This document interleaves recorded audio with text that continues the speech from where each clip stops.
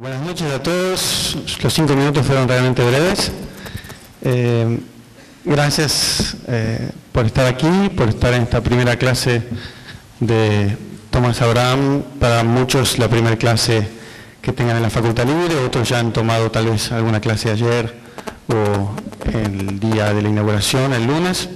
Estamos muy contentos de estar aquí y también agradecidos al Centro Cultural Parque España por eh, permitirnos tener la clase en, este escenario tan bonito. Eh, no voy a hablar demasiado porque ustedes están todos esperando a la clase de Tomás.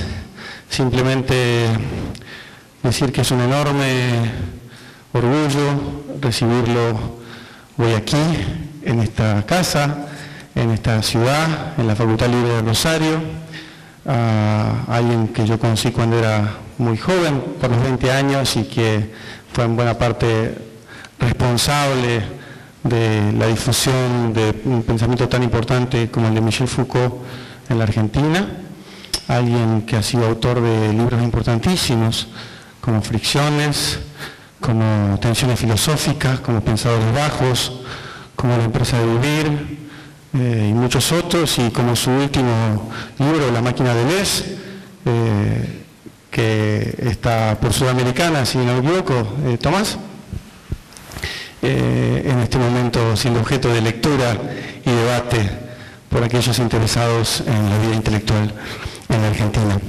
Además, bueno, cuando yo estaba en el exterior y quería saber qué estaba pasando con el mundo intelectual en la Argentina, una vez volví y le pregunté a un amigo en común, digo, ¿qué pasó aquí? A mí me llegó una revista, digo, quiero todos los números de esa revista.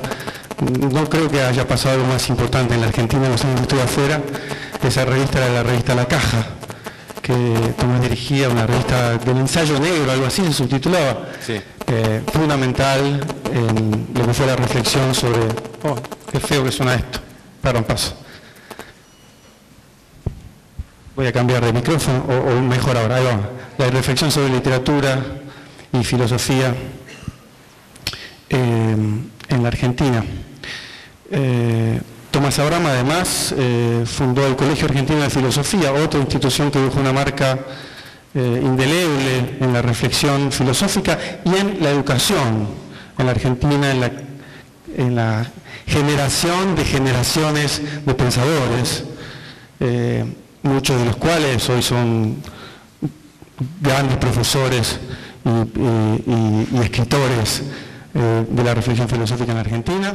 Eh, nadie podía desconocer lo que era el Colegio Argentino de Filosofía, eh, yo recuerdo por lo menos en los años 80, después me fui. ¿Qué más me queda por decir? No mucho más. simplemente, sí, me queda lo más importante. Lo más importante es que Considero a Tomás Abraham eh, uno de los intelectuales más librepensadores, muchos se, llaman librepensadores en este país, pero Tomás Abraham eh, ha marcado con su trayectoria y sigue marcando cada paso, a cada paso que da eh, los senderos de la libertad del pensamiento, entendiendo por esto que cada vez que se lo escucha a Tomás no se sabe muy bien qué es lo que va a decir, no es un pensamiento predeterminado, es alguien que, inclusive eso lo marcan los libros que produce y que escribe, y cuando habla no responde a ninguna necesidad de corrección política, no responde a ninguna necesidad de quedar bien con ningún grupo intelectual, no responde a ninguna necesidad de eh, someterse a lógicas eh, de, sectas que a veces eh, lo han hecho tan mal, yo creo aquí, a mi juicio al, mundo intelectual, a la reflexión y por ende también a la vida de los argentinos. Creo que Tomás Abraham es el contraejemplo de todo eso. Eh, a mí me sorprende siempre, me sorprende siempre gratamente eh, y en ese sentido le doy una enorme bienvenida y quisiera que ustedes terminen esa bienvenida con un gran aplauso.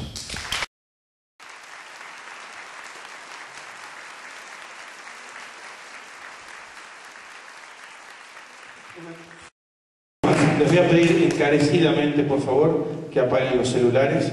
Eh, le puede molestar al profesor y a muchos alumnos que además me han pedido encarecidamente que así lo hagamos por respeto a todos.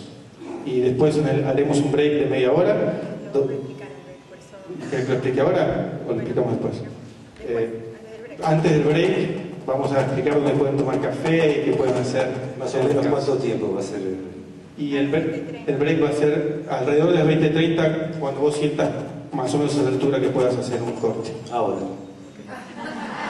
Basta.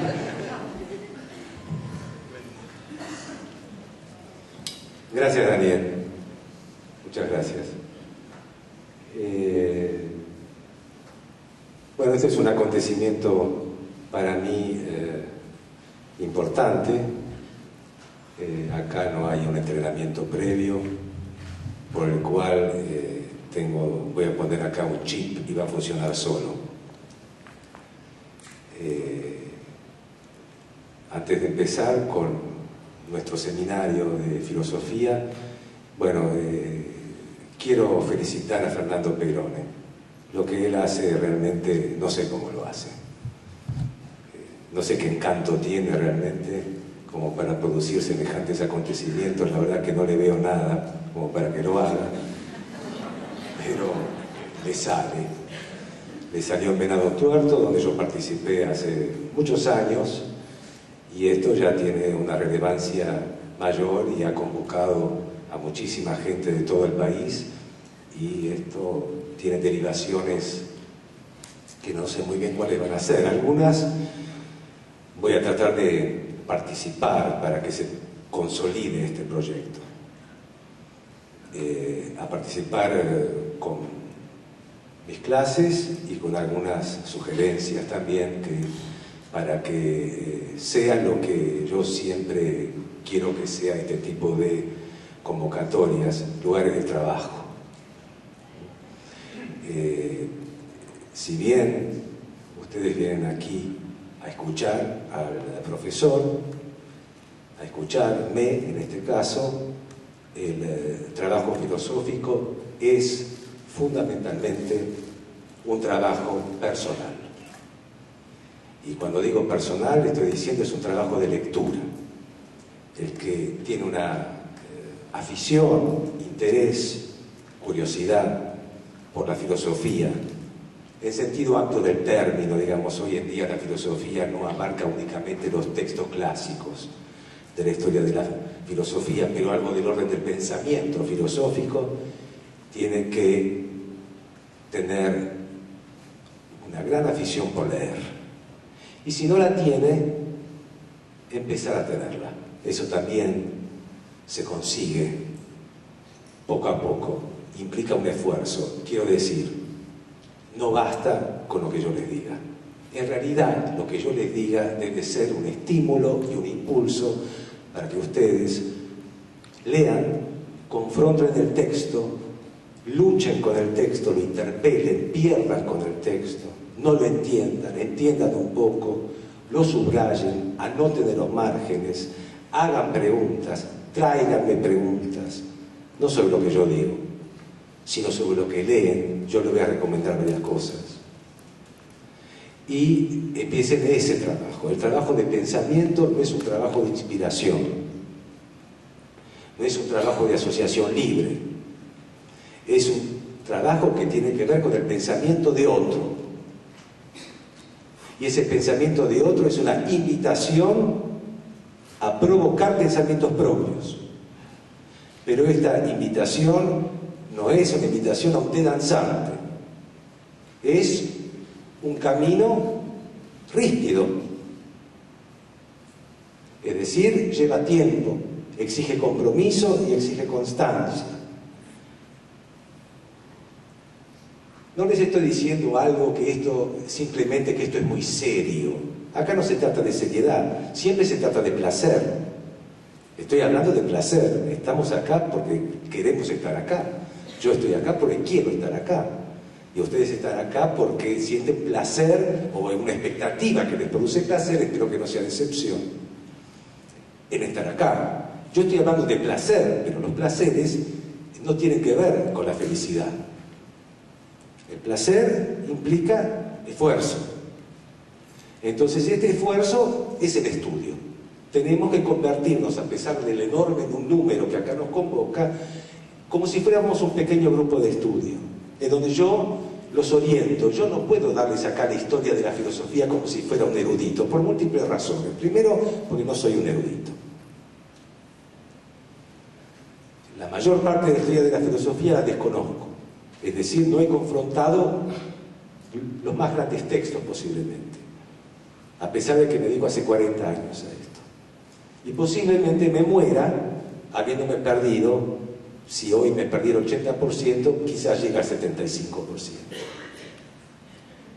Pero no se trata de completud, de saber todo. Se trata simplemente de encontrar un camino propio en este mundo de 2500 años de historia que se llama filosofía y que bien tiene ese nombre, que no habría que cambiárselo nunca porque es un nombre digno, un, nombre de alta dignidad. No hay que cambiarlo ni por pensamiento, ni por pensador, ni por intelectual, ni por epistemología, ni por metodología de la investigación, ni historia de las ideas, ni crítica cultural, nada. Es filosofía. Todos toman de la teta de la filosofía. Y esta tiene 2.500 años de historia. Estos 2.500 años de historia no es una historia de crecimiento, no es un nene que nació en Atenas hace 2500 años y que hoy en día es un hombre barbudo y sabio. La filosofía, que además es mujer, es femenina y no es hombre sabio, sino en todo caso gran madre, pero más allá de su género, no, ha evolucionado, no ha progresado, no es mejor hoy que hace 2500 años, aunque más no fuere porque los filósofos de hoy siguen interrogando a Platón y siguen interrogando a Sócrates, a Aristóteles y a todos los filósofos. No es del orden del progreso, no es del orden de la evolución. Siempre volvemos de otra manera. El eterno retorno de la diferencia, decía Nietzsche. Siempre vuelve distinto y lo seguimos interrogando. De alguna manera, cuando se habla de lo clásico, ya sea en literatura, en la música o en la filosofía, ¿por qué se dice clásico? Lo clásico no es de por sí clásico, es decir, Platón, cuando escribe sus diálogos, no lo hace para ser clásico, lo hace para ser moderno. Platón escribe para los atenienses, no escribe para los argentinos de 2500 años después, imagínense, escribe para cambiar su sociedad, para provocar a su sociedad y para intervenir en, los, en las cuestiones, en los problemas políticos de su sociedad. No escribe para la posteridad. Ningún filósofo escribió para la posteridad. Nosotros lo hemos hecho inmortales. Por alguna razón que nos concierne a nosotros, en nuestra responsabilidad. Pero los filósofos siempre fueron filósofos del presente, pero sucede que nosotros, los contemporáneos, para comprender nuestro presente los necesitamos. Acudimos a ellos. Ser moderno no es no pensar en la historia. Al contrario, ser moderno exige pensar en la historia. Ahora, la lectura de la historia, eso sí, cambia permanentemente. Los modos de lectura que tenemos nosotros de las tradiciones, del legado, de la herencia, cambia constantemente. Y la historia de la filosofía está viva hoy. Kant está vivo hoy, Hegel está vivo hoy, Nietzsche o Wittgenstein está vivo hoy, por los que lo han leído después. Ser un lector de filosofía es la tarea, los lectores de filosofía han hecho inmortal a la filosofía. Lo que sucede es que muchos de estos lectores son filósofos. ¿Cómo se hace uno filósofo? Leyendo a filósofos. Entonces esta lectura se va transmitiendo de mano en mano como una torcha olímpica, pero modificada. Kant lee a Hume, Kant lee a Rousseau, Hegel lee a Kant. Y lo interesante de la historia de la filosofía es que hay mucho odio en ella, es decir, mucha enemistad. Habla un odio como sentimiento frío, a veces hay también cólera. Hegel escribe contra Kant Kant escribe contra Hume. Hume escribe contra Descartes. Descartes escribe contra Santo Tomás para desprenderse de las mallas culturales que crean hegemonías ideológicas, doctrinarias, las cuales el pobre filósofo naciente, que aún no sabe qué es filósofo, tiene primero que penetrar en ellas, ser atrapado por ellas, aprender y leer, Santo Tomás tiene que leer Aristóteles, y después encontrar alguna fisura y alguna beta que le permita decir su palabra y pensar. Es decir, toda esta red de la historia de la filosofía es una red solidaria por un lado y polémica por otro lado. Así que no hay otra posibilidad que leer, que estar solo y leer. Es un trabajo solitario la lectura. Ahora sí, sería muy recomendable en esta instancia y en esta institución que, que haya muy pequeños grupos, porque la discusión estimula la, lectura. Es decir, yo leo, pero ¿qué hago con lo que leo? Necesito de alguna manera expresarlo. Primero porque se necesita, todos necesitamos expresar. Expresar lo que entendí, lo que no entendí, lo que me provoca. Y por el otro lado, confrontarlo. Para eso necesito otro lector. Sería bueno que la lectura personal, que es la base del estudio se confronte en grupos de dos, de tres, de cuatro, de conocidos, y hay gente que no ha venido sola, y que se reúnan leyendo y de esa manera creciendo en el estudio. Por eso yo decía que esta convocatoria, esta idea y esta invención de Fernando Peirón eh, no debería convertirse solo en un acontecimiento cultural. Yo tengo una cierta desconfianza respecto de los grandes espectáculos culturales. Es decir, creo que son necesarios para despertar interés, para estimular algo, para satisfacer curiosidad. Pero lo que más me interesa, y hace bastante tiempo, y eso es muy difícil de trabajar en nuestro país, es la educación. Y esto, es, esto debería ser educación y no cultura. Educación quiere decir trabajar los textos culturales. Yo quiero acá ser profesor, no un orador que es conocido por tal motivo. Ser profesor, lo que para mí es una gran exigencia.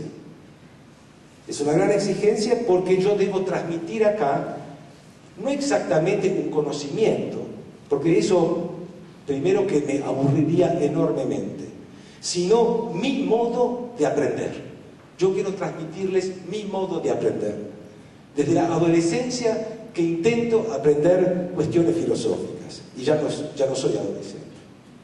Entonces, mi modo de aprender, la forma en que me pierdo en el pensamiento, en que encuentro el pensamiento, qué autores me interesan, cómo veo la filosofía, cómo veo la historia de la filosofía y seguramente cada uno de ustedes tendrá otro modo. Habrá coincidencias, habrá disidencias, convergencias y divergencias, pero yo no puedo más que transmitir mi modo, mi pasión también, por esto que nos convoca a todos en común, que es la filosofía.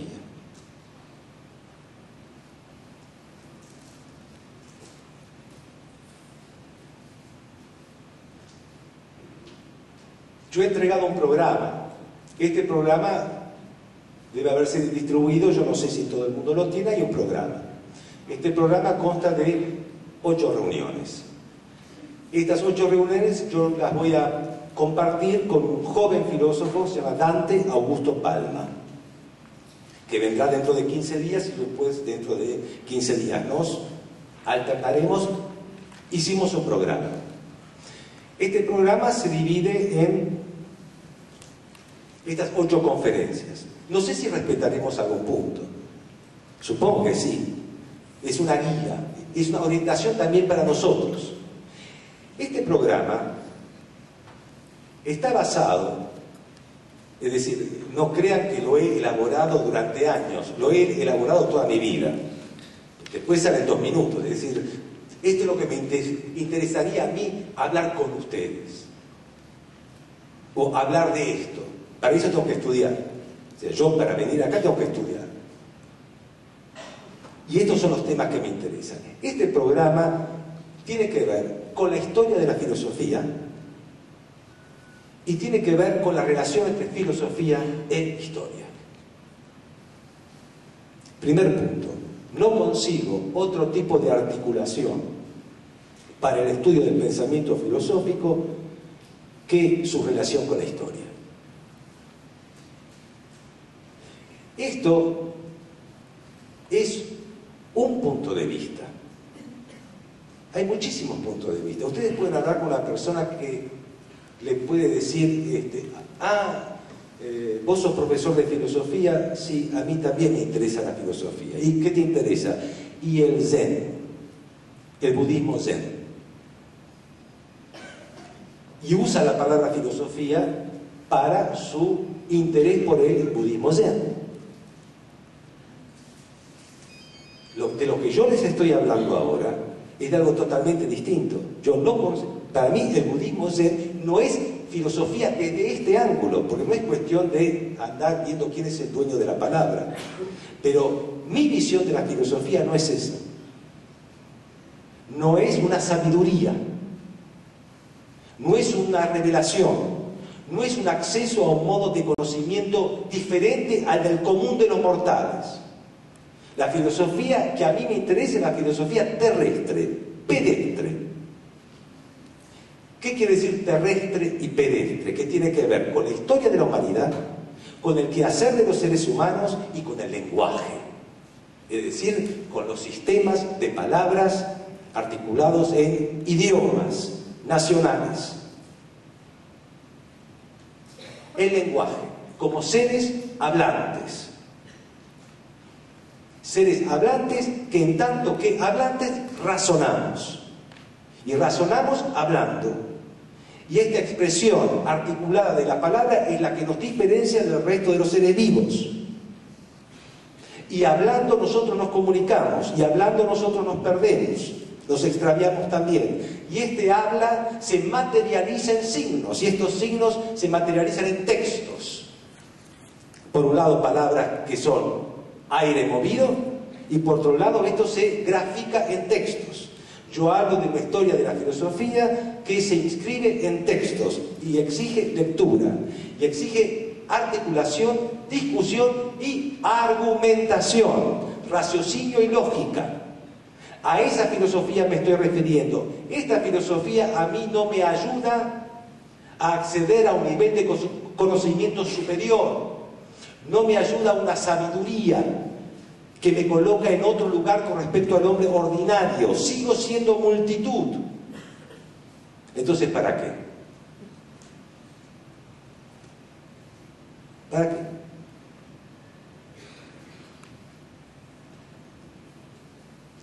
Yo no veo el problema de ser multitud.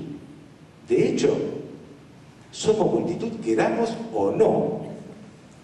Formamos parte de una multitud que se llama seres humanos, argentinos, católicos, judíos, maometanos o lo que fuere, familia,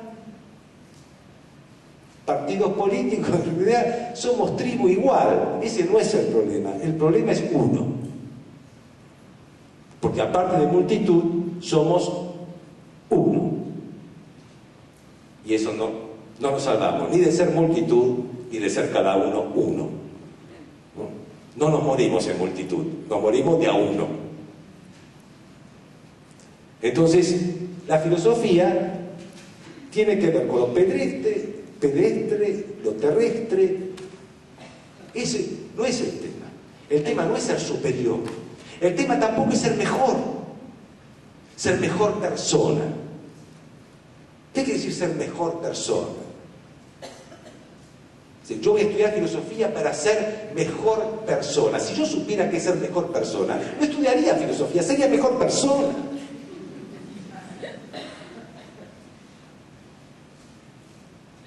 Ni hablo de mejorar la calidad de vida que Fernando sabe que ha corrido peligro su vida, casi queda sin calidad cuando me enteré que habían puesto esa especie de leyenda articulando la Facultad Libre de Rosario. Eh, mejor calidad de vida, concepto holístico. Es decir, la calidad de vida es lo que debemos tener, es la nueva culpa de Occidente. Antes se llamaba sexo, ahora se llama calidad de vida. Somos culpables de nuestra mala calidad de vida. Somos todos seres hipocondríacos. Sufrimos de lo mal que vivimos. Y creo que la filosofía contribuye a ese malestar.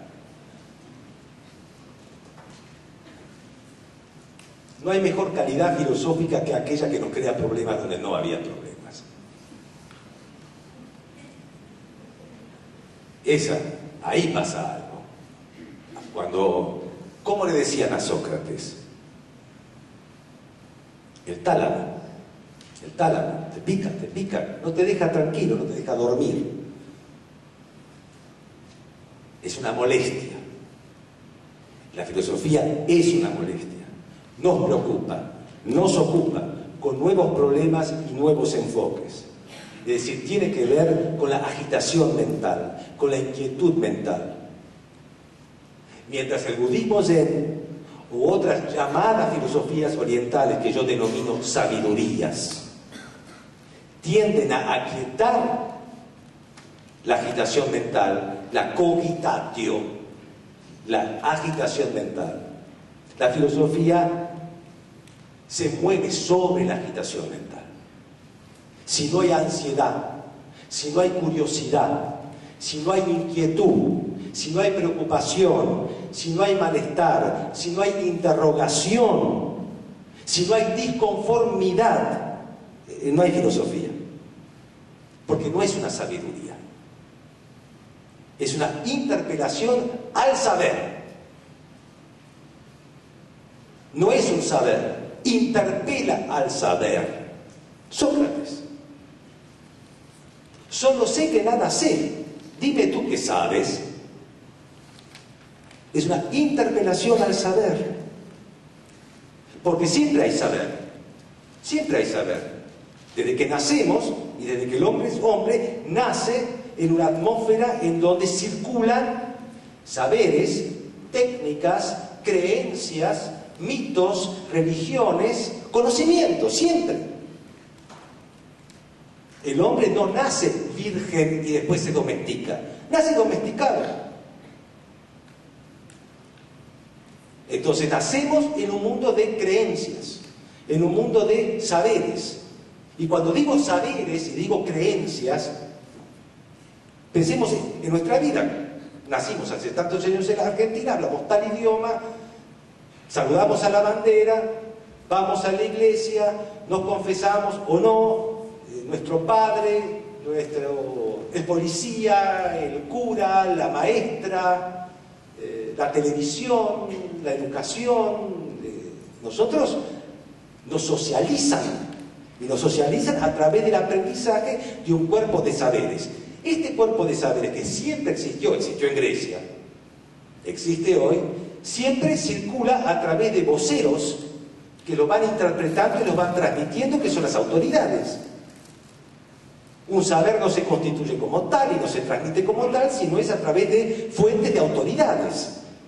Y el filósofo interpela el saber e interpela las autoridades. Así nace la filosofía en Atenas hace 2500 años a través de nuestro fundador llamado Sócrates, personaje imaginario y real inventado por Platón y por Genofonte y por Aristófanes. Pero fundamentalmente es la inmortal invención de Platón, un señor que se llama Sócrates, un interpelador de la sociedad ateniense, un interpelador de los que estaban a cargo del gobierno de la sociedad ateniense, que era una comunidad cívica como municipio, 20.000 almas de ciudadanos, con sus esclavos, mujeres que no eran ciudadanos, menores que no eran ciudadanos, metecos o inmigrantes que no eran ciudadanos, que hacía una especie de municipio grande de Atenas, digamos de algo más de 100.000 habitantes.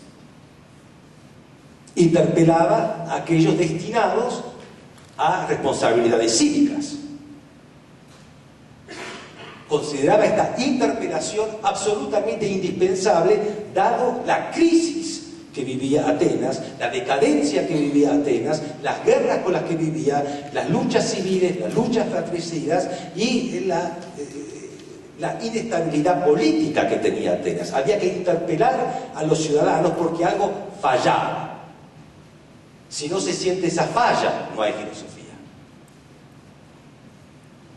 Es decir, que se requiere una cierta incomodidad. Por lo tanto, cuando yo digo filosofía, no me estoy refiriendo a lo que habitualmente se llama Prozac, a lo que dicen Platón y Prozac, mejor Platón que Prozac, no, mejor Prozac. Para estar bien, mejor Prozac. Para estar activo, con insomnio, ansioso, un poquito esquizo, mejor Platón.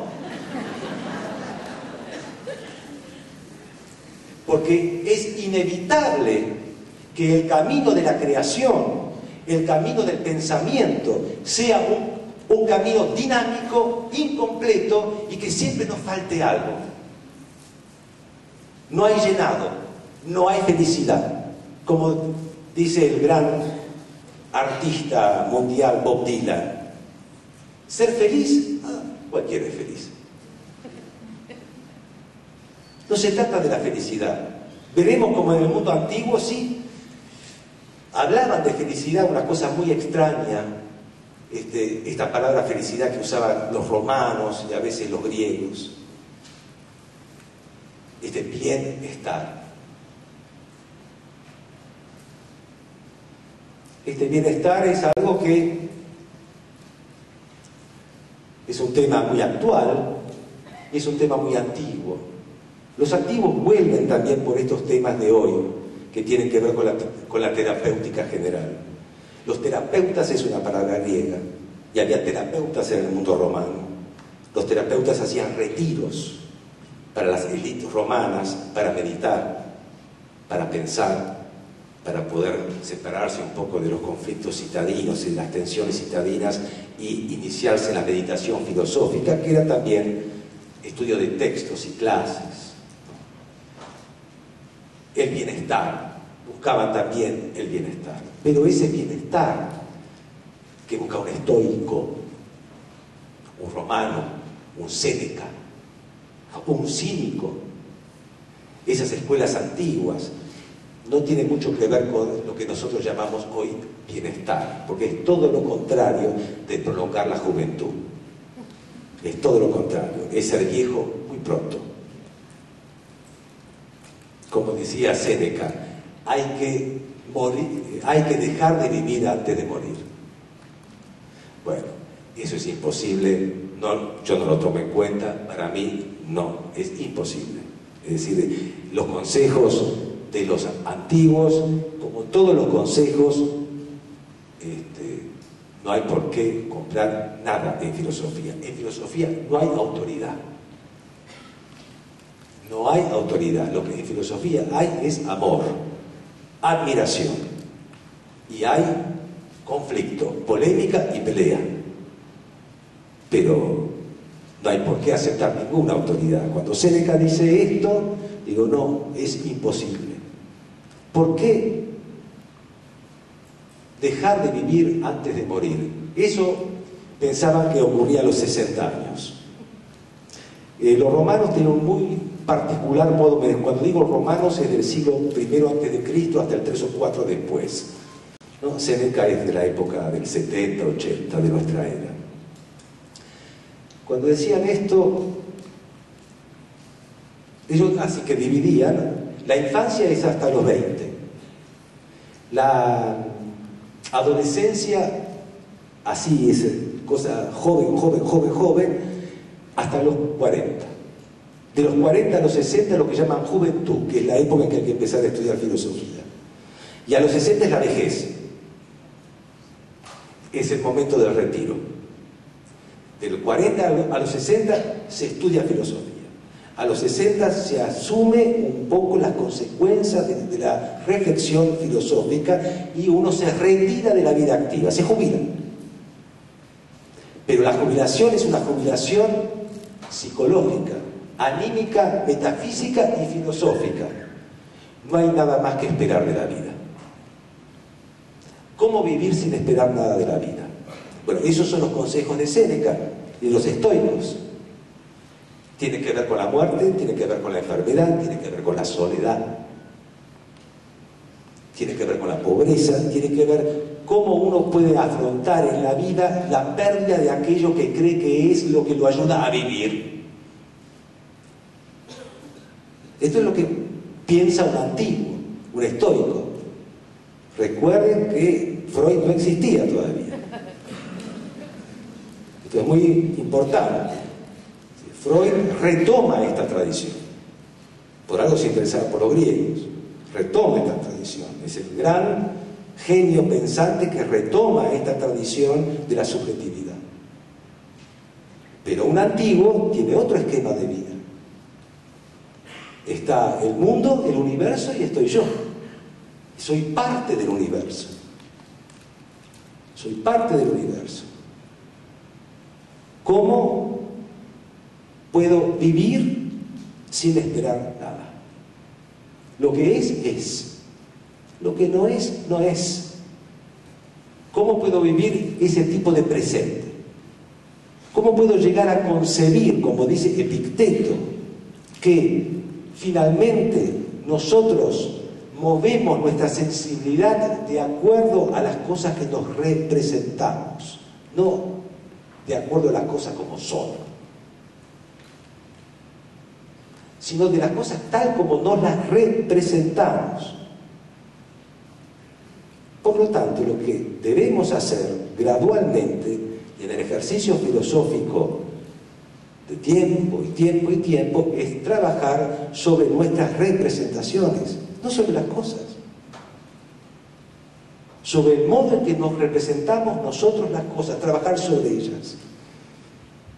Y trabajar sobre ellas de tal modo que nos permita despegarnos del exterior. Este ideal estoico es muy interesante, es muy profundo, es muy meditado a través de los grandes filósofos romanos, como Séneca, Marco Aurelio, Epicteto, tiene sus raíces, por supuesto, en el mundo griego, en Platón, en Aristóteles, en Diógenes, porque los romanos son greco-romanos. Este tipo de mentalidad, de aceptar las cosas, este tipo de sabiduría, de despegarnos de las cosas para que el dolor tenga significado, que el dolor no sea algo que se padece, duele y uno busca inmediatamente con qué eliminarlo. Es cierto que la cultura contemporánea y actual no soporta el dolor. Por eso hay tanta farmacología. Todo es remedio, todo es terapia, todo es analista, psicólogo, control mental, yoga, eh, dietética. No soportamos el dolor. La famosa prédica de cualquier profesor, no gurú, eh, profesor de yoga que es, aguante un poco, deje, deje que el dolor esté, no, no, no, enseguida eliminarlo con pánico, con el susto, con el remedio, sino que deje eso. La cultura antigua lo deja, que hable, que hable el dolor, que hable el miedo. Y aceptar. Yo leo a los estoicos, leo a Séneca, mucho más leo a los grandes lectores de los estoicos. Porque como les había dicho anteriormente, los antiguos y los clásicos Y los filósofos grandes tienen grandes lectores. La palabra divulgador, la palabra comentador, son palabras de desprecio. Yo digo grandes lectores, grandes lectores de los estoicos, por ejemplo. Estos grandes lectores, un gran lector de un antiguo es alguien que tiene una muy fina sensibilidad respecto del presente. Porque si no, se convierte en un típico erudito de la minucia de la autenticidad de la fuente. Pero un gran lector es aquel que sabe manejar las fuentes, pero no, está, no tiene espíritu de coleccionista. Los eruditos muchas veces tienen espíritu de coleccionista. Descubrí este manuscrito, ¿no sabéis? El documento. No, el gran lector es alguien que maneja las fuentes dentro de un aparato de sensibilidad que tiene muy fino respecto de lo actual. Por lo tanto, cuando yo digo los estoicos, me estoy refiriendo a grandes lectores de los estoicos y por eso, en homenaje a este gran maestro que está vivo por suerte y sigue publicando cosas, voy a escribir el primer nombre recomendado.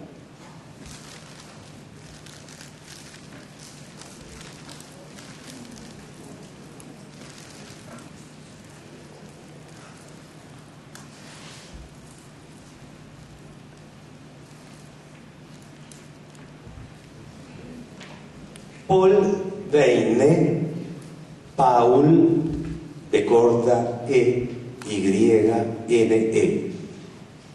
Este nombre, este nombre no es porque es lo que hay que leer y primero, no, no, es porque lo admiro, lo amo, lo adoro. Ayer le escribí una carta porque lo adoro y le pedí que no se asuste. No, es un hombre genial. Y acabo de recibir de Francia dos libros, casi mil páginas, y realmente no sabía con quién brindar semejante cosa, y le escribí a él, que es el que escribió los libros. El Imperio Greco-Romano. Bueno, él tiene algunos libros que están traducidos. Recomiendo vivamente un libro del Fondo de Cultura Económica que se llama Séneca y el Estoicismo. Paul Beine es quizás uno de los especialistas, bueno, dentro del ámbito académico, que no es exactamente por lo que yo me guío, pero sí es uno de los especialistas de la Roma antigua más importantes del mundo, profesor emérito del Collège de France. Ya que estamos, yo escribí un ensayo sobre Paul Beine en un libro que se llama El último Foucault de editorial sudamericana, yo escribí ahí un ensayo que se llama El amigo de Foucault. Digo, para si alguien quiere una ubicación entretenida de Paul Beine. Bueno, Paul Beine habla de se dedicó toda la vida, ahora tendrá setenta y pico de años, toda la vida a Roma, también a Grecia y a los antiguos, toda la vida, un erudito hizo todos los caminos, por supuesto dentro de su estilo, sus estudios, etc. Un hombre de una sensibilidad impresionante a todo.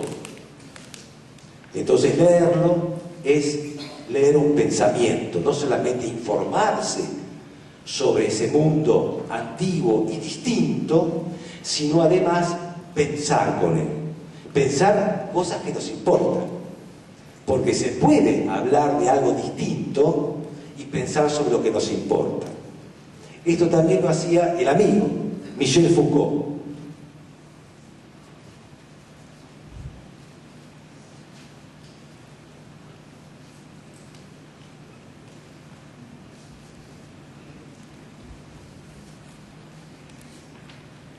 Michel Foucault, como dicen lectores o gente que trabajó con él, tenía un especial talento para crear un pensamiento diagonal. ¿Qué quiere decir un pensamiento diagonal? Que es una palabra que está en el marketing igual, pero digamos, un pensamiento diagonal. Quiere decir que la relación de la actualidad con la antigüedad, él la, él la hacía de un modo muy extraño. Es decir, no se puede percibir exactamente. Yo eso lo veo ahora. Estuve leyendo un libro, releyendo en realidad, para hoy, ¿no? Eh, leí muchas cosas para hoy que finalmente no estoy tomando en cuenta, por supuesto, yo sabía. Pero eso cuando me siento bien, cuando no, pasa nada por acá. Este, que también va como recomendación de lectura, es un libro que editó Paidós, si no me confundo. De Foucault para el mundo clásico, que nos va a llevar un mes, la hermenéutica del sujeto, eso es Paidós. Hermenéutica del sujeto.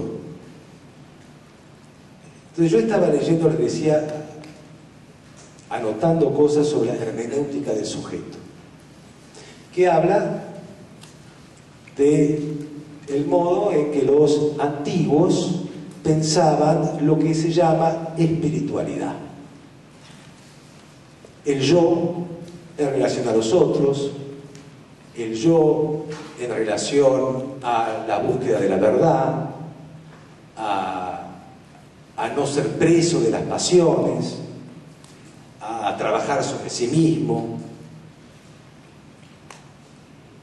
Y uno lo lee y lo lee y lo lee y siente que está permanentemente en contacto con algo que a uno lo preocupa y lo ocupa.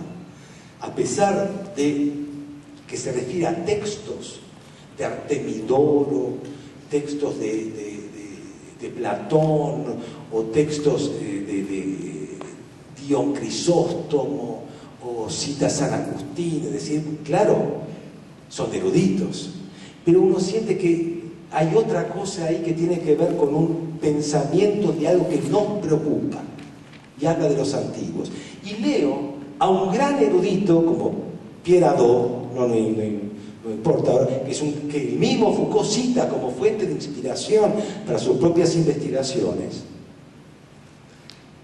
Y lo leo y leo a un especialista de la antigüedad que me da información, me da excelente información, es un gran erudito, un profesor de mérito, pero no estamos pensando. Es decir, está muy lejos de la actualidad. Es un hombre que está absolutamente enfrascado en la antigüedad, pero no tiene el bicho de la actualidad, el bicho de la modernidad, que hace que pase algo muy misterioso, que no es, que no es justamente es lo inverso de interpretar el pasado a la luz del presente, sino es reconocer que el pasado es distinto. Lo que sucede es que está hecho de tal modo esa lectura, por ejemplo, de Michel Foucault, que uno siente que tiene que ver con, con aquello de lo que se habla. Entonces, cuando le dicen a Foucault, esto tiene que ver lo que usted está investigando con las cuestiones de la calidad de vida, o con la cultura californiana, o con el New Age, o con esto, él dice, no, todo lo contrario, yo estoy mostrando qué distintos eran los griegos. Y realmente es asombroso que se haya podido pensar así. Es decir, no la familiaridad con lo actual, no algo que nosotros interpretamos de acuerdo a nuestra luz, porque así pierde encanto el pasado. Es decir, si uno sobreimpone sobre otras culturas nuestro modo de pensar, lo colonizamos. Colonizamos. Entonces decimos, ah, siempre es lo mismo, siempre pasa lo mismo. No, siempre pasa algo diferente. Lo interesante de estas culturas, cuando hablamos de Platón y hablamos de Sócrates y hablamos de Aristóteles, no es que nos hablan a nosotros, sino que ellos hablan entre ellos y nosotros los escuchamos. Y podemos escuchar, por suerte, algo diferente de nosotros, que nos saca un poco de nuestro narcisismo. En general, la tendencia es leer e interpretar para recuperar aquello que nos confirma en nuestras creencias, en nuestros pareceres y en nuestros conocimientos. No, esto no. Son distintos. No digo que son como los tupi guaraníes y los incas, pero son distintos. Es otra cultura. Cuando ellos dicen democracia, nada tiene que ver con nuestra democracia. Cuando ellos dicen esclavo, nada tiene que ver con el esclavo que nosotros imaginamos. Cuando ellos dicen gladiador, no es el gladiador de Charles Heston y de las películas de Ben Hur, nuestro gladiador. Cuando ellos dicen pan y circo, no es nuestro pan y circo. Sin embargo, el lenguaje y las palabras engañan. Como decía Platón, las apariencias engañan. Entonces, el trabajo del historiador y el trabajo del filósofo es volver a mostrar la extrañeza de ese mundo y justamente esa extrañeza es la que a nosotros nos tiene que permitir pensar. Nos incomoda por un lado porque es distinto. Ahora, si fuera totalmente distinto, no tendríamos acceso. Trazamos permanentemente puentes de comprensión, comparamos todo el tiempo, es inevitable, pero siempre hay que estar alerta en no domesticar los textos de la historia para adaptarlos a nuestras urgencias y en nuestra necesidad de responder a ciertas preguntas, porque se preguntaban otra cosa. Como ayer entonces, ayer que me llamaron de LT8 para que hable de la experiencia de la facultad libre, que le dije que la experiencia no la tenía, la iba a tener al día siguiente. Entonces no entendía por qué respondía así. ¿Qué, puedo responder?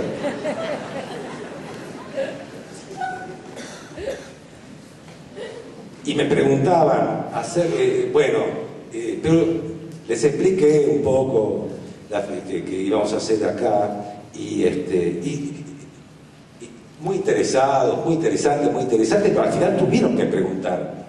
¿Y la filosofía para qué sirve? O sea, no les alcanza con que sea interesante. Es decir, sirve para interesarnos. Entonces vuelvo a estas cosas que yo decía, ¿no? Vivir mejor, ser mejores, mejores personas, ¿Quién se puede arrogar semejante título? ¿Quién se puede arrogar, ¿quién se puede arrogar semejante título? En general, esos títulos los da el prójimo. Los da el prójimo por generosidad y por gratitud. La gratitud generalmente consiste en saber recibir, no en dar en saber recibir. Entonces alguien me dice, mira, no sabes lo que vos, etc. Y uno lo recibe y se gratifica. Pero eso no lo hace a uno mejor. En realidad lo hace mejor al que lo gratificó. Porque pudo ser generoso. Entonces esto no es para eso, esto es para una cosa que es muy elemental. Esto es para ponernos a estudiar. No hay cosa más linda de la vida que estudiar. Aquel que se dedica a la filosofía es un estudiante permanente. Por eso se puede mantener joven siempre. Porque siempre estudia. Siempre está estudiando. Dar clases es estudiar, escribir es estudiar, siempre se lee, siempre se busca. Cuando yo les digo que ayer Ayer, no, anteayer, ayer escribí la carta a Paul Beide, anteayer a la noche, recibo esto que lo estoy esperando y el correo argentino que se estatizó es mentira que funciona bien. Que me perdieron libros que nunca me habían perdido antes, porque esto hay que pedirlo afuera y viene por correo y demás. Cuando llegó finalmente este, un libro deseado, tener libros deseados, verdaderamente era una una, fiesta, porque de eso yo me voy a alimentar muchísimo tiempo. Es un nutrimento. esta, esto es, para eso sirve. Sirve porque hemos encontrado un medio dado por otros con el que nos vinculamos que nos permite un sentido, tener un sentido, de interrogarnos, de estudiar, cómo esto lo aplicamos bueno, cada uno se hará cargo si necesita aplicarlo. A lo mejor lo aplica en seguir estudiando, en seguir pensando. O a lo mejor lo aplica en vaya a saber qué cosas, en su trabajo, o en sus relaciones, o se pone a pensar, o no hará nada con eso. Los filósofos nunca fueron buenas personas. Nadie se ha destacado por buena persona.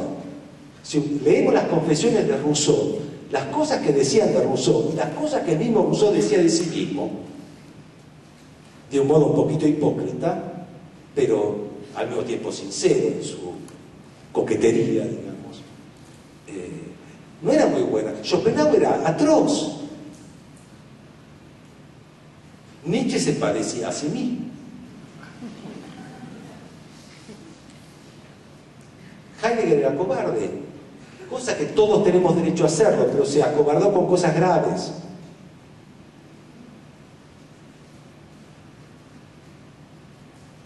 Sócrates era medio perverso. Séneca era el hombre más rico del imperio romano.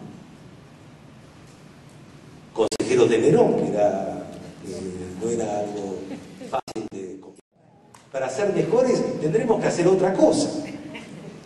No es a estos filósofos que tenemos que dirigirnos, sino nuevamente al señor Buda, o al señor Confucio, o a Salomón, o vaya a saber a quién, o a Jesús.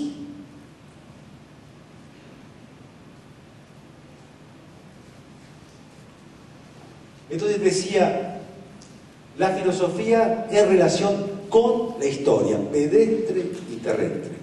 En este sentido hemos elegido con Dante ciertos momentos importantes. Uno es la antigüedad, Grecia.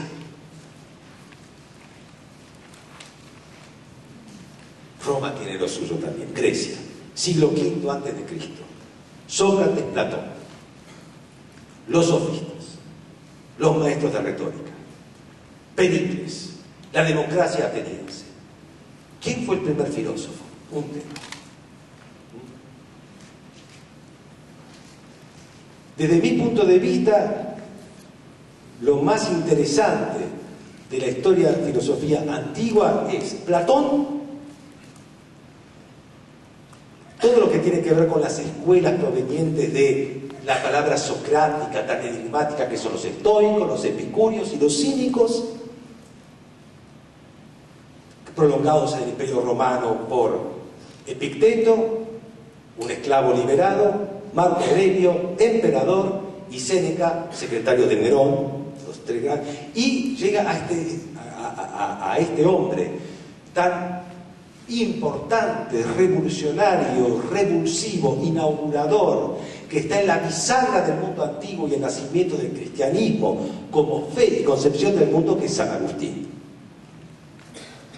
Las confesiones de San Agustín y la ciudad de Dios como crítica al mundo antiguo. San Agustín nace en el mundo greco-romano y renace en el cristianismo, pero se bañó dos veces, como decía Heráclito. Eh, como decía Heráclito que no se bañaba dos veces, él se bañó dos veces. Eh, lean las confesiones, lean el el género literario del padecimiento de un hombre que tiene que vencer la tentación sexual.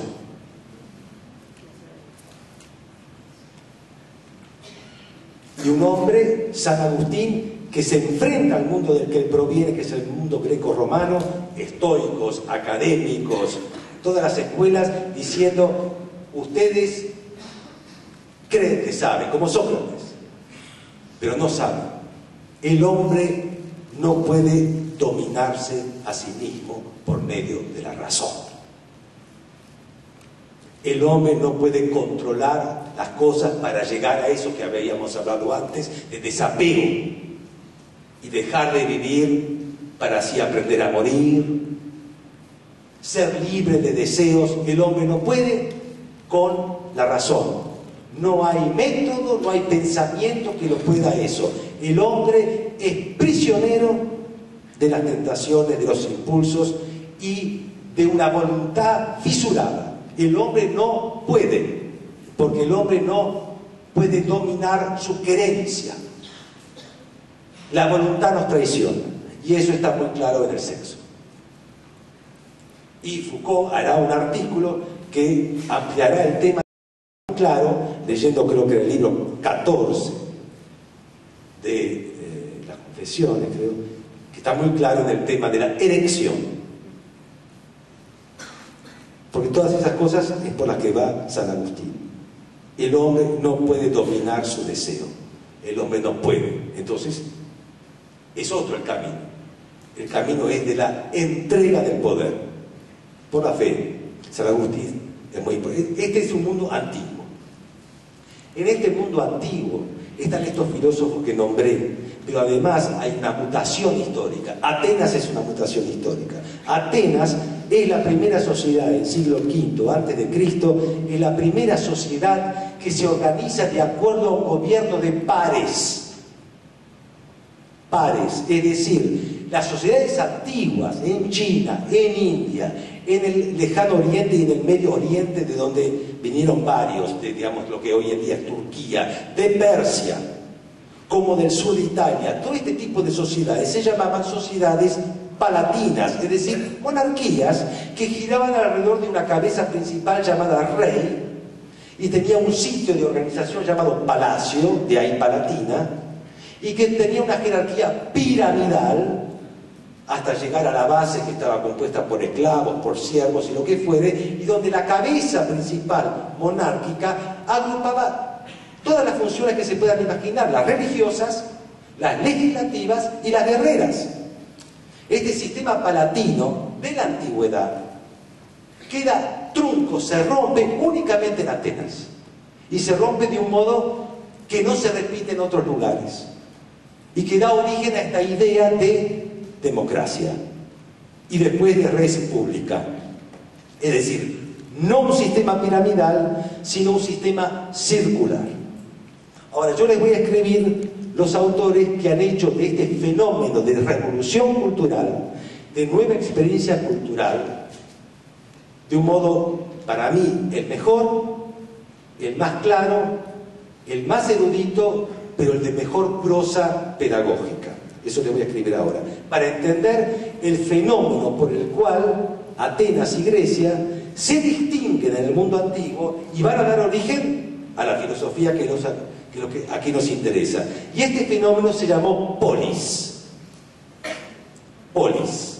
Quiere decir ciudad, que por las trampas del lenguaje no es lo que nosotros llamamos ciudad, sino que es comunidad de ciudadanos, comunidad de pares agrupados en un determinado territorio y que hablan una cierta lengua, pero fundamentalmente que son ciudadanos, es decir, que tienen una responsabilidad respecto de aquello que los une, la comunidad o demos, que podríamos traducir por comunidad o municipio, demos. De ahí viene la palabra gobernar por intermedio del demos, democracia. Estos autores ahora se los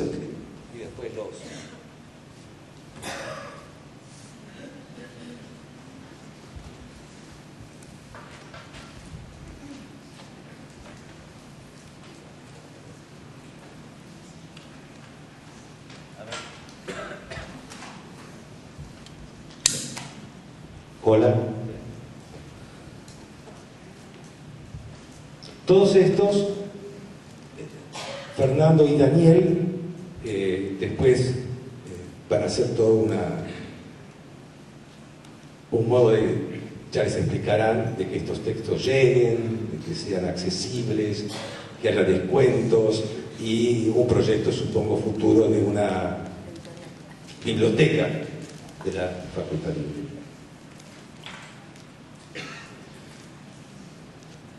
Voy a empezar por un autor que para mí es maestro de maestros, un italiano, que tiene un libro que es chiquitito así, finito así, y chiquitito así, que se llama El nacimiento de la filosofía, de editorial Tusquets. Deben valer, no, me dijo Fernando, siete pesos.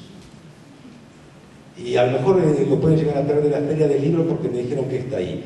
El autor se llama Giorgio, Giorgio Colli, con dos L's.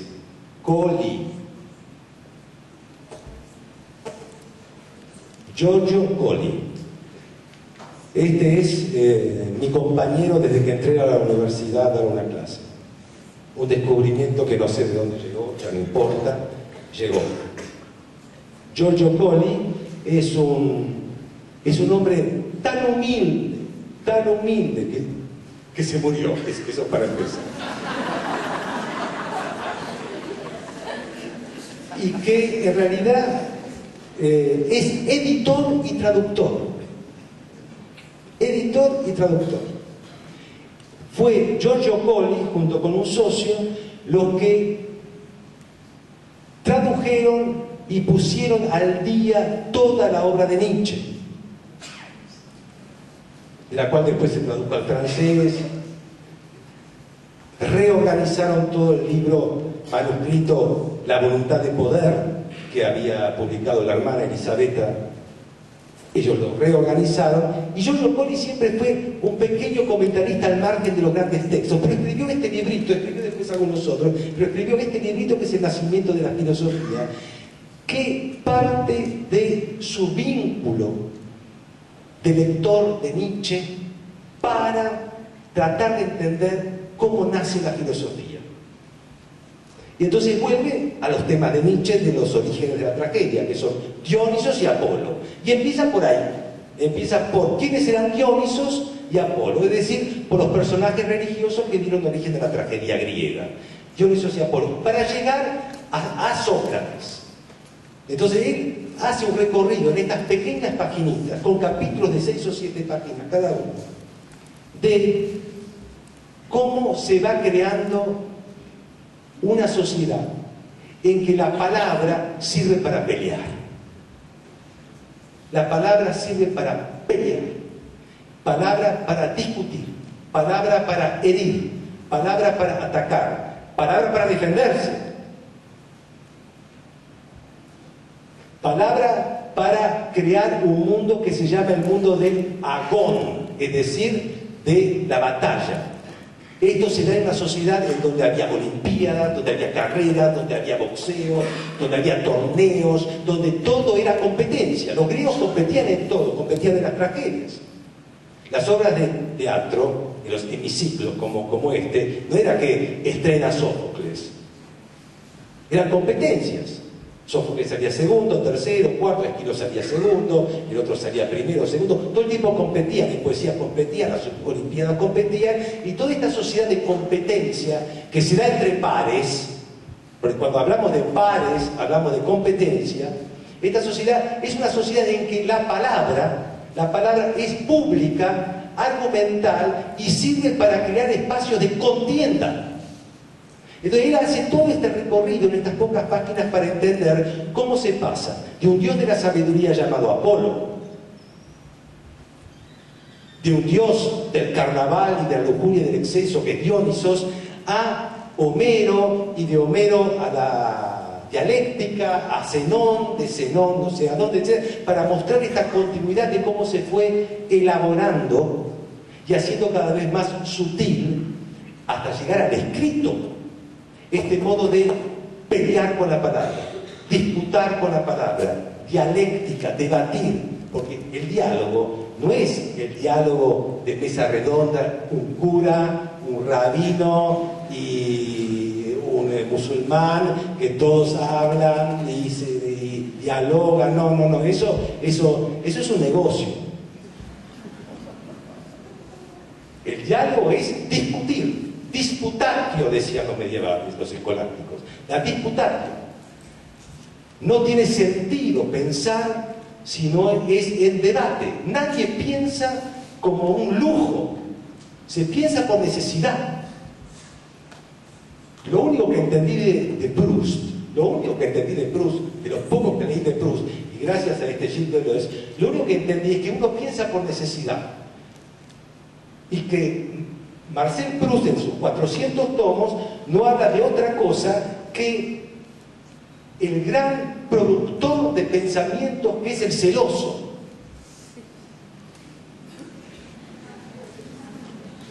El celoso es un gran creador de permanentes pensamientos, porque no quiere saber la verdad. Él quiere sospechar. No quiere saber la verdad. Igual que el filósofo, tampoco. No quiere saber. Quiere pensar. Y no se piensa en la verdad. Se piensa porque no la hay. Entonces, los celos. ¿A qué venía? La dialéctica. Entonces, Giorgio Colli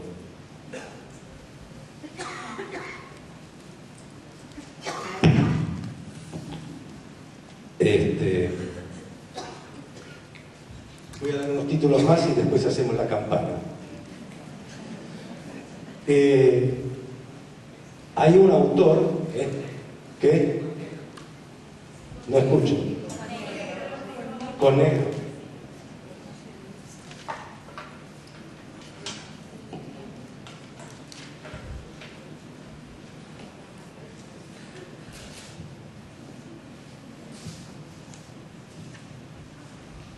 Este es un libro que está, en Taurus, esto posiblemente consigamos alguna copia y algo. Este, a lo mejor vos tenés, Fernando, estos libros. Marcel Detienne. Marcel, como Marcelo, detiene, D de dedo, E, T de Tomás, I, E, doble N de niño, Detienne. Marcel Detienne bueno, justamente con el próximo que voy a nombrar, que se llama Vernan con B corta, B corta E-R-N-A-N, T de Tomás, Jean-Pierre Vernan, eh, han iluminado el nacimiento de la filosofía y ellos son creadores o protagonistas principales de la disciplina que se llama Antropología de la Grecia Arcaica. Ellos estudian el fenómeno de la polis, de lo que hablaba de la ciudad. Y ustedes acá, ustedes acá, eh, con Detienne y Bernard pueden estudiar el pasaje del modelo piramidal del rey, el sacerdote, el legislador, el maestro de justicia, la figura de Homero, el profeta, el vidente, Tiresias, el legislador, Solón, el tirano, Pisístrato, Edipo. Todas estas figuras transicionales hasta llegar a la Asamblea Democrática Ateniense. Para que esto ocurra, para que esto sea posible, hubo transformaciones sociales. Las transformaciones sociales, es decir, económicas, políticas, militares, educacionales, no son el contexto de la filosofía porque la historia no se lee en términos de contextos. No es esto y alrededor esto. Es constitutiva de la historia de la filosofía. Es constitutiva de la filosofía. La filosofía participa de la creación de este mundo nuevo y este mundo nuevo está en la filosofía, no es una cuestión de agregados, sino de constitución, en todo caso, en términos de red, de series que se cruzan, divergen, convergen. Entonces, cuando se habla de el nacimiento de la filosofía, decía, la tradición del siglo XIX, una buena parte del siglo XX, decía, la filosofía nace con la razón. Y la razón nace en Occidente, en Atenas, una vez que se separan, como la Biblia, las tinieblas del mito.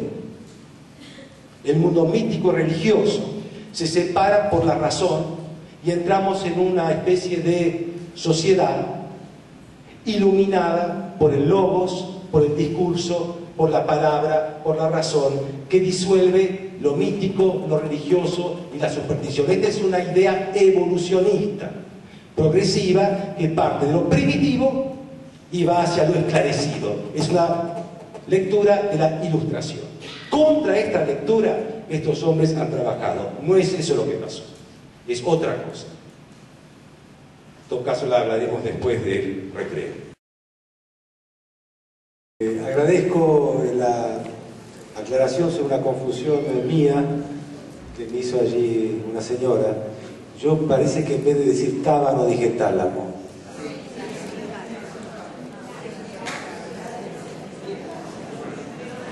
No tuvo ninguna intención, ninguna no intención. No fue un lapsus, fue un error. Es el tábano. Sócrates era el tábano, un mosquito. Tálamo es otra cosa.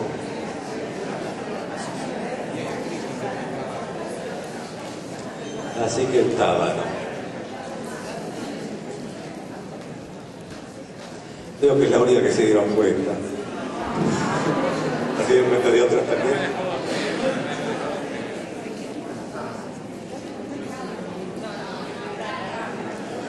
Hay algunos que escucharon tábano. No me confundan, por favor. Ya bastante confundido esto. Bueno, seguimos entonces. Es, Sócrates era el tábano. Entonces, hablamos de este primer punto que era la mutación cultural, la nueva experiencia social que fue la polis ateniense. La filosofía existe porque existe la polis. Esta es la gran innovación de los especialistas, los antropólogos, Bernard, Detienne, eh, que han eh, estudiado no el discurso filosófico en tanto tal, sino la situación del discurso filosófico dentro de una experiencia cultural global, como decían los sociólogos de antes, una, un fenómeno social total, que es la polis ateniense. La polis ateniense es el marco jurídico político que nos permite entender por qué en Atenas surgieron las ramas del saber que surgieron y qué relaciones tuvieron con, con las instituciones políticas. Si no hubiera habido este, este, fenómeno de la polis, integra todos los fenómenos culturales que dieron origen a la eh, sociedad ateniense. La polis, sociedad de pares que viven en comunidad, en un mismo territorio y que se representan directamente en una asamblea pública en forma simétrica, en isonomía. Isonomía, es decir, bajo una relación de reciprocidad según la ley. Nomos es ley. Esta es la polis ateniense. En la polis ateniense se el fenómeno filosófico. La idea que yo les hablé como la versión tradicional proveniente del siglo XIX, de que en Grecia en un momento dado nace la razón occidental, nace la luz de la razón y que despeja las tinieblas del mito, de la religión, de la superstición, etc. Eso es un modo en que los eh, lectores de la civilización griega, bajo esta especie de pensamiento evolucionista, iluminista, volteriano, trataban de alguna manera de manifestar la superioridad de la civilización occidental. Si nosotros occidentales tenemos razón, la razón. Y las otras sociedades son primitivas. Entonces, en Grecia nace esta superioridad. Después se continúa por Roma, por el cristianismo y la modernidad. Es la misma superioridad que hace a la civilización occidental superior a las otras civilizaciones, superioridad que la historia manifiesta en los hechos, que empieza en Grecia esta superioridad en el imperio romano, en la iglesia cristiana y posteriormente la superioridad material debido a la ciencia y la tecnología que Occidente irradia sobre el mundo a partir del siglo XVI y XVII, una superioridad manifiesta que hace que los distintos pueblos del mundo dependan de la... O sea, es sinónimo de civilización. Más allá de los efectos doctrinarios e ideológicos de esto, históricamente está planteada esta cuestión de la misma Grecia. Por estos autores. Es el fenómeno de la polis. Y este fenómeno de la polis no separa la razón del mito, sino que inscribe el pensamiento racional dentro de una organización social. Porque la polis es una organización social. Para que la palabra filosófica se produzca y circule, lo primero que tenemos que entender que en la historia de la humanidad no hay primeros hombres, que generalmente lo colectivo se presenta como inicial. En un momento dado de la historia aparecen los filósofos. Cuando uno rastrea las huellas de la memoria y de los testimonios de nuestra historia, ¿qué hace? Las huellas en qué se manifiestan? Se manifiestan en textos, en pergaminos, en monedas, en columnas, en fósiles, en rastros materiales.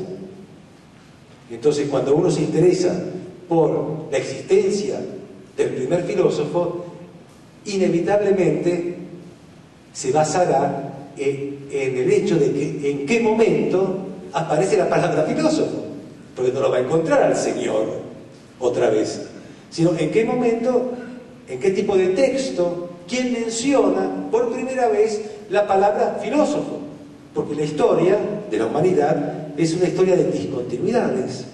Las cosas aparecen en un momento dado, así como también desaparecen. Y esto se manifiesta en las huellas. ¿En qué momento aparece una huella no prevista, imprevisible, un nombre nuevo, una palabra nueva? No siempre se dijo filósofo. Entonces, a mí no me interesa cuando se dice, y la filosofía nació con el hombre. El primer filósofo es el primer hombre porque pensó. No, estamos acá en otra cosa. Las palabras designan conceptos específicos y singulares. Cuando se dice filósofo es una palabra griega, no es una palabra semítica, no es una palabra china, es una palabra griega. Y esta palabra griega aparece en un momento dado de la historia y si no me equivoco, el primero que la menciona es Platón. Y habla de filosofía, y habla de filósofos.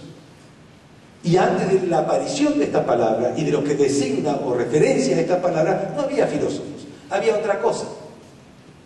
Todo girando alrededor de la palabra Sofía, sabiduría. Todo girando alrededor de la palabra Sofos, sabios. Pero filosofía es una acepción nueva, porque primero son dos palabras. A Sofía hay que agregar algo que es sumamente importante para entender el fenómeno de la polis, que es el aspecto comunitario, el aspecto de compañero, de colega y par, esta relación de reciprocidad que la palabra filía evoca. Filía es amistad, se tradujo por amistad. Los juegos idiomáticos y tramposos nos tienen que alertar sobre enseguida pensar en mi amigo.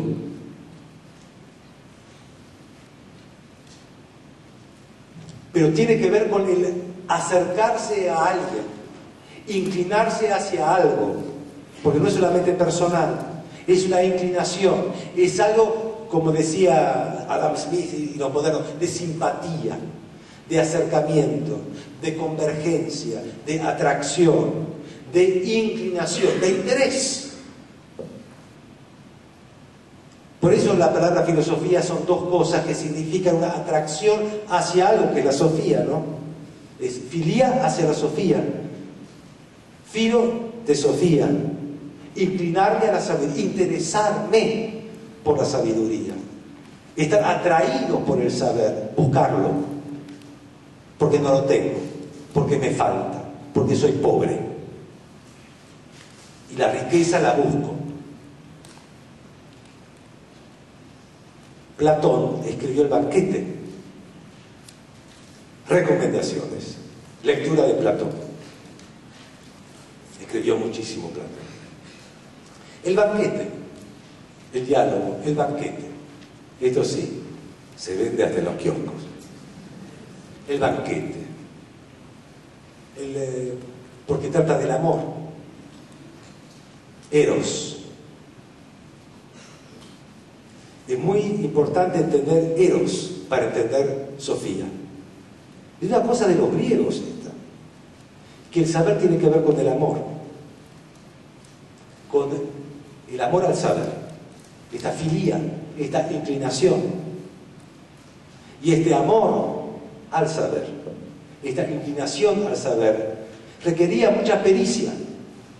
No se trata únicamente de quiero el saber, inclinarse al saber y buscar el saber como se busca una comida cuando se tiene apetito, ni nada por el estilo. Esto es un trabajo nuevamente. Hay que saber buscarlo. Uno se puede perder y confundirse y buscar otra cosa en vez del saber. Un espejismo, un encanto, un falso, encanto, un falso encanto, una trampa. El mundo está lleno de trampas. Digamos que Platón es eso, toda esa apariencia o ese engaño. Nosotros espontáneamente creemos lo que no es, por un simple hecho, decir Platón. Nuestro cuerpo, nuestro cuerpo es un puente hacia el engaño, hacia el espejismo. Por tener un cuerpo, es decir, sentidos, sensaciones, las sensaciones engañan. Y no solamente porque hay sueños, porque hay alucinaciones, porque hay locura, sino porque la estructura del cosmos, del orden del mundo como tal, se presenta velada,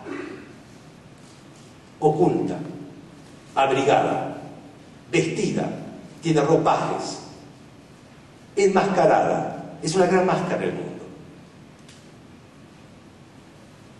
Esto Platón lo huele de las doctrinas orientales. Esto viene de Oriente. Grecia, Atenas, recibe migración del otro lado, del hindú, del persa, la idea de metempsicosis, la idea de alma. Esto viene de algún lado.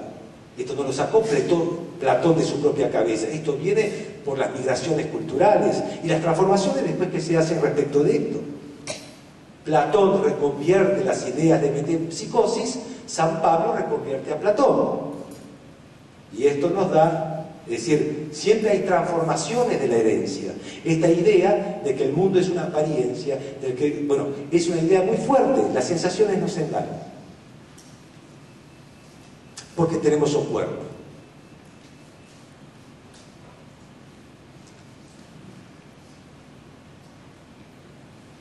El saber del amor, el saber de la filía, va a ser uno de los saberes fundamentales para despejar el mundo de las apariencias, para que las apariencias no nos engañen. Tenemos que educarnos.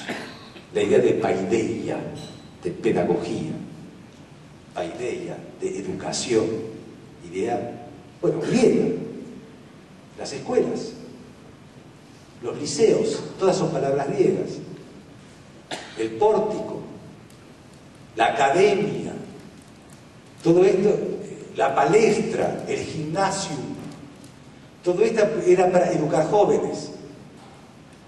Los griegos tuvieron especial cuidado en educar jóvenes, porque los jóvenes iban a ser los futuros pares en una sociedad de pares, de representación directa donde no hay diputados y senadores, en donde la asamblea van los ciudadanos personalmente, cosa que era bastante trabajoso para los griegos porque en general la gente hacía fiaca, como la reunión de consorcio, van dos.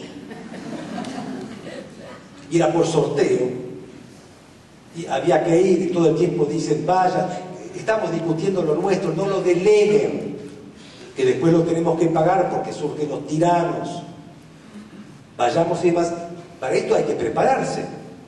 Para gobernar hay que prepararse. Porque, ¿qué es lo que hay que gobernar? Hay que gobernar los asuntos comunes de la polis, es decir, los asuntos políticos, que es sinónimo de comunitario.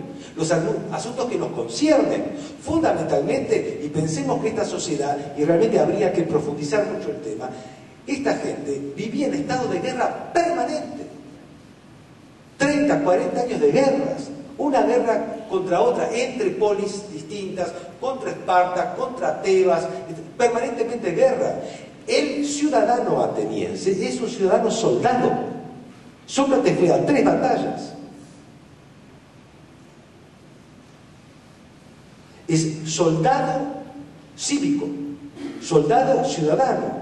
Hay que discutir sobre ese tema las estrategias, las concesiones, las negociaciones con el adversario, las alianzas. Hay que discutir los impuestos. Bueno, todo esto es gobernar, dirigir las conductas de la colectividad, de la que somos responsables nosotros, ciudadanos del mundo ateniense, de la polis. ¿Y cómo estamos preparados? El Señor es jabonero, el Señor es artesano, el Señor es negociante, el otro es comerciante, el otro, vaya a saber qué es. Cada uno sabrá hacer jabones, hacer madera, hacer ladrillos, pintar frescos, cultivar tierras, pero gobernar es otra cosa. Cada uno es sabio en su quehacer.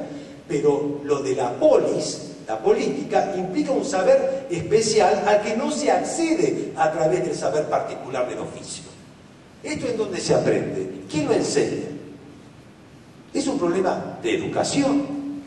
¿Quién enseña al soberano?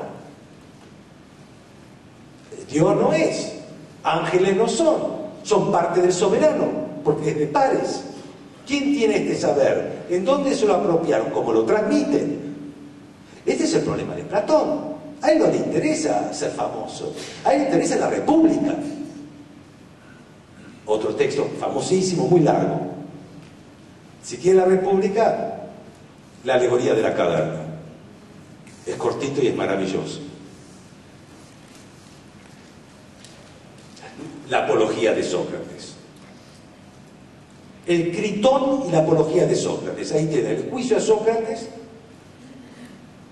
y la despedida de Sócrates. Ustedes saben que Sócrates es juzgado por el pueblo ateniense a través de una asamblea y lo condenan a, eh, suicidarse. En realidad lo condenan a suicidarse para que se vaya, para que se fugue. Y él no se fuga, esto es muy interesante. ¿Por qué no se va? Acá no es una cuestión de valentía, es una cuestión de respeto a la polis. El ciudadano ateniense tiene una relación con la polis como el hincha de central con central. Irracional. No es nada sin la polis. No es un individuo que dice, bueno, yo aparte soy esposo, este, tengo hijos, eh, tengo otra, y aparte soy ciudadano argentino. No, no, no. La definición del individuo es ciudadano de la polis, es decir, de la ley. La ley no es el código civil o el código penal, es lo que me hace hombre. Es lo que me distingue del bárbaro. Es lo que me hace ciudadano, lo que me hace civilizado. El pertenecer a esta comunidad me hace, me da mi identidad. El destierro es lo peor. El destierro me manda a la barbarie. El destierro me saca de la polis y me convierte como si fuera un animal. Sócrates se podría haber ido a comunidades organizadas que lo recibieran amablemente, pero él, él es hijo de la polis y todo el tiempo enseñó que uno es hijo de la polis, que es la ley del tema, que es el nomos, el orden, pero el orden verdadero. Esa fue su búsqueda, la de decirle al jabonero, al artesano, al comandante guerrero, al comerciante, decirles, señores, usted sabe de, lo suyo, pero ¿qué hacemos con el resto? Yo no sé nada. Y se encuentra con una sociedad ateniense, Platón la presenta, como absolutamente convencida de su superioridad y convencida de, su camino y de sus creencias y de su modo de vida, en donde los ciudadanos que se gobiernan a sí mismos creen que ese saber les corresponde, que lo tienen. Porque les ha sido transmitido por unos profesores, unos educadores de plaza pública, de ágora, profesores que les han enseñado a pensar, a hablar, a discutir en los juicios de esta sociedad de pares, donde hay muchos juicios. Es una sociedad comercial, se discuten precios, se discuten costos, se discuten ventas, hay litigios por herencia. Es una sociedad de pares. Acá no viene alguien de arriba a decir eh, esto te corresponde. Hay que ponerse de acuerdo. Y esta sociedad que se transformó de palatina, como dije, en pares, el arte de la palabra de argumentación fue enseñada por maestros que vinieron de distintas tierras por motivos muy extraños, un Protágoras, un Gorgias, gente que venía del sur de Italia, eh, que eran discípulos de Pitágoras, hombres emblemáticos, o que venían de, la parte de, los jonios, discípulos de Tales, de Heráclito, hombres que, eran casi míticos, grandes legisladores como Solón, estos discípulos de esta gente que vivían en sociedades que habían sufrido algunas transformaciones, confluyen en, Atenas, porque se hizo muy rica, mucha plata, por eso vienen, como siempre, van a Atenas, que es muy rica, porque se hace navegante imperial, a transmitir estos conocimientos que se basan fundamentalmente en esto. Las sociedades conflictivas, que tienen litigios y se dan disputas entre cuerpos colegiados y pares por crisis en la función monárquica, deben tener una educación de la palabra. Si no quieren terminar matándose por las armas. ¿Se entiende? Si no quieren terminar matándose por las armas, deben llegar a hacer de la palabra un elemento de disputa y negociación. La palabra, porque la palabra me separa del cuerpo del otro. Yo les hablo y ustedes están allá. La palabra me permite la distancia y me permite el debate, es decir, la guerra a distancia y sin heridas corporales y sin muerte. Y la palabra, así como me permite la distancia, me permite el acuerdo.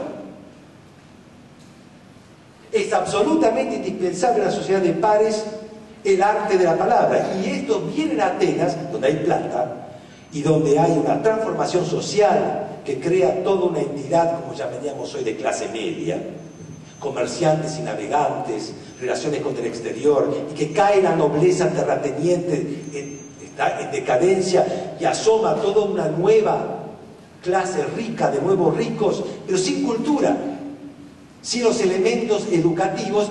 Estos son los que le, los que le enseñaron durante 30, 40 años en el ágora, en la plaza pública y demás, a usar la palabra en defensa propia a usar la palabra en los conflictos políticos de la polis, a usar la palabra para defenderse, usar la palabra para negociar, litigar y para los juicios.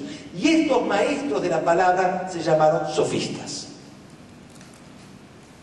Y Sócrates será alguien puesto ahí por Platón como el, como el último maestro o sea, el último Sofos. El último. El último sabio.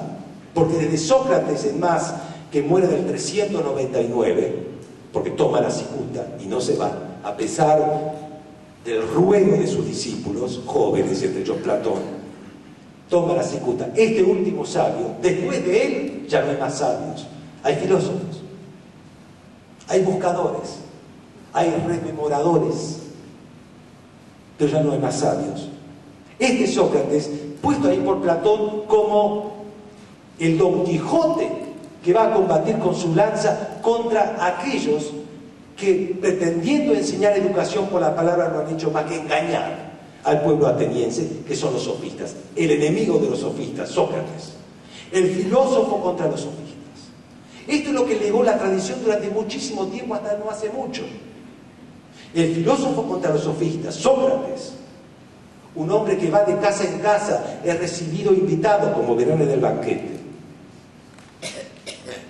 Sócrates, el pobre, hijo de un picapedrero, que era picapedrero,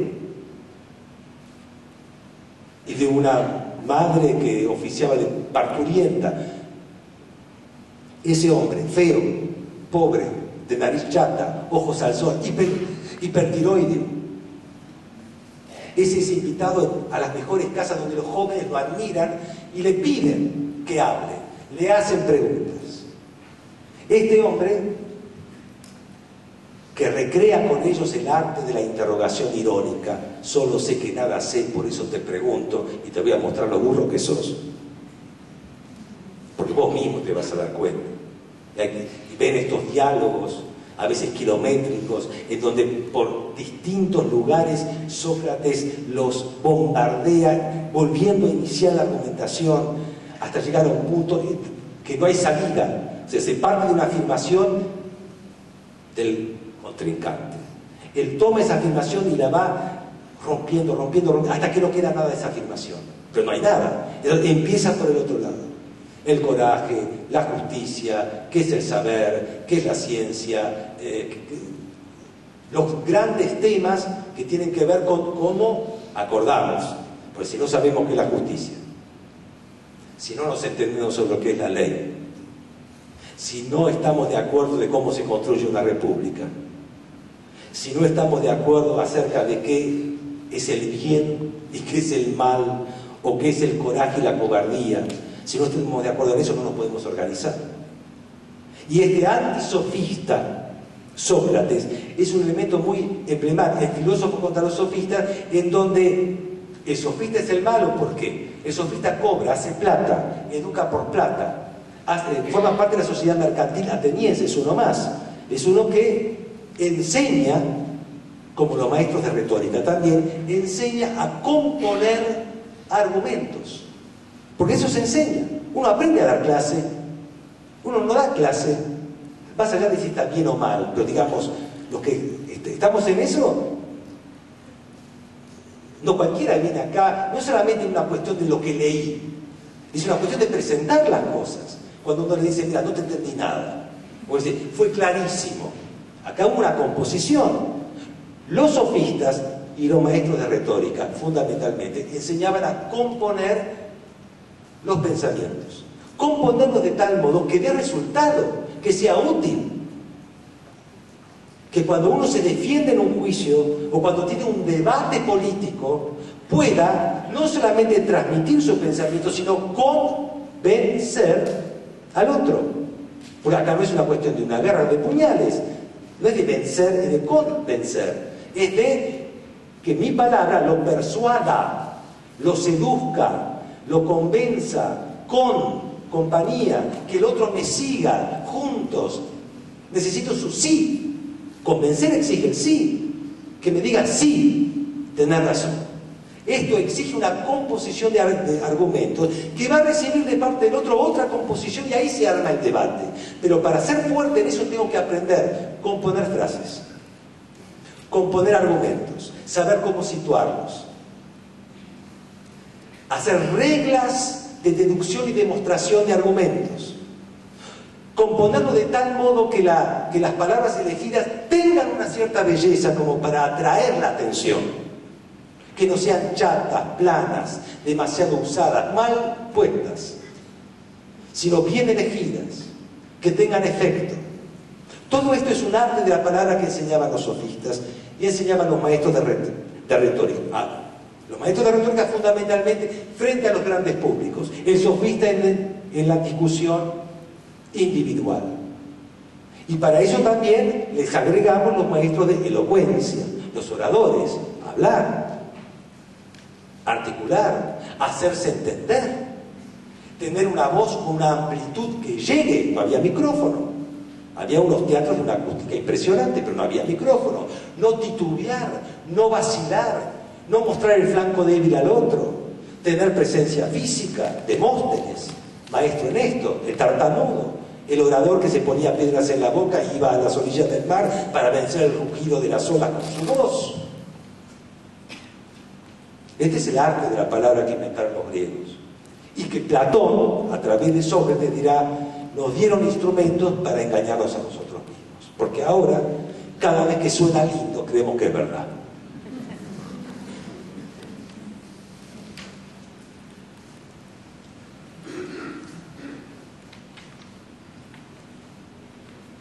hay que diferenciar lo que aparenta de lo que es.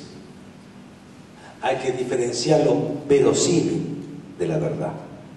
Hay que diferenciar lo que se parece a la verdad de lo que es en esencia la verdad, porque hay una verdad. A través de atravesando el mundo. ¿Qué es el mundo? El mundo cambia todo el tiempo, por eso es apariencia, cambia todo el tiempo. Es devenir, es Heráclito, es el devenir. El flujo temporal, Cronos, Cronos devora. Mm, la, la gran imagen creo que de Goya, era? Goya supongo, devora, come, nos devora, el tiempo nos devora. Es una verdad esa, el tiempo nos devora. Siempre decimos, nos falta el tiempo. El tiempo nos come, come, es la, es la realidad del tiempo. El tiempo existe permanentemente a través de lo que no vemos, que es su acción perforadora. Todo cambia permanentemente. ¿Cómo podemos nosotros construir un conocimiento sobre algo que cambia permanentemente si no es construyendo un conocimiento que cambie permanentemente? Y al cambiar permanentemente, trastrocar permanentemente los valores. ¿Cómo vamos a tener una idea de justicia a través de un pensamiento que siga corriendo a través del tiempo.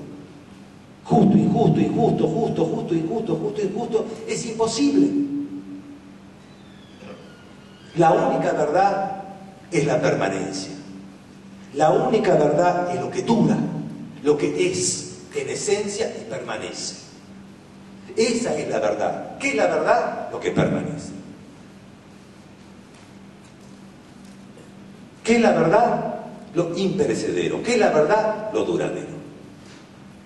¿Qué es la verdad? Lo que es. No lo que deviene, porque lo que deviene no termina nunca de devenir. Por lo tanto, debemos construir el conocimiento ajustado y adecuado a lo que es un logos y un pensamiento que tenga la perdurabilidad y la permanencia de lo real. Un lenguaje. ¿Qué, problema con el lenguaje? Porque la gramática es un artificio. El idioma helénico es un artificio. El idioma de los humanos es un artificio, incluso hasta cambia. ¿Cuáles son las palabras justas que den cuenta de lo real?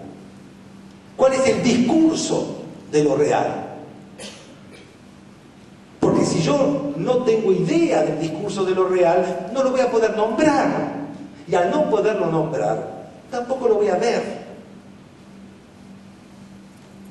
La filosofía de una u otra manera permanentemente se interroga sobre el tema del lenguaje. Permanentemente. Parménides. Permanentemente. Si no hubiera esta interrogación sería una mística.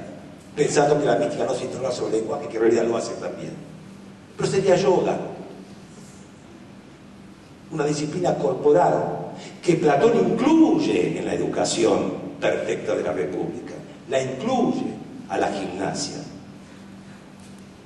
pero es hacia el nombre, nombrar lo real. Las cosas, las verdades tienen un nombre y ese nombre está. Lo que pasa es que no lo conocemos. ¿Por qué no lo conocemos? Vuelvo a lo de antes. Porque tenemos un cuerpo. El cuerpo es el estuche del alma. Platón creo que dirá es la prisión del alma. Hay un alma. Esta es la palabra, alma. La filosofía de Platón se define en esta palabra, alma. Hay un alma. Y este alma es una cuestión muy complicada y al mismo tiempo muy simple, porque no nos podemos romper el alma pensado en eso. El alma. El alma está en nuestro cuerpo y sin embargo no nos pertenece. Lo que nos pertenece es nuestro cuerpo, pero el alma no nos pertenece. El alma está en nuestro cuerpo, pero no nace con nuestro cuerpo. El alma no nos pertenece. En realidad nosotros pertenecemos al alma. Y el alma tiene una vida que no es la del cuerpo. El cuerpo tiene una vida perecedera, porque se crece, se pudre y se va.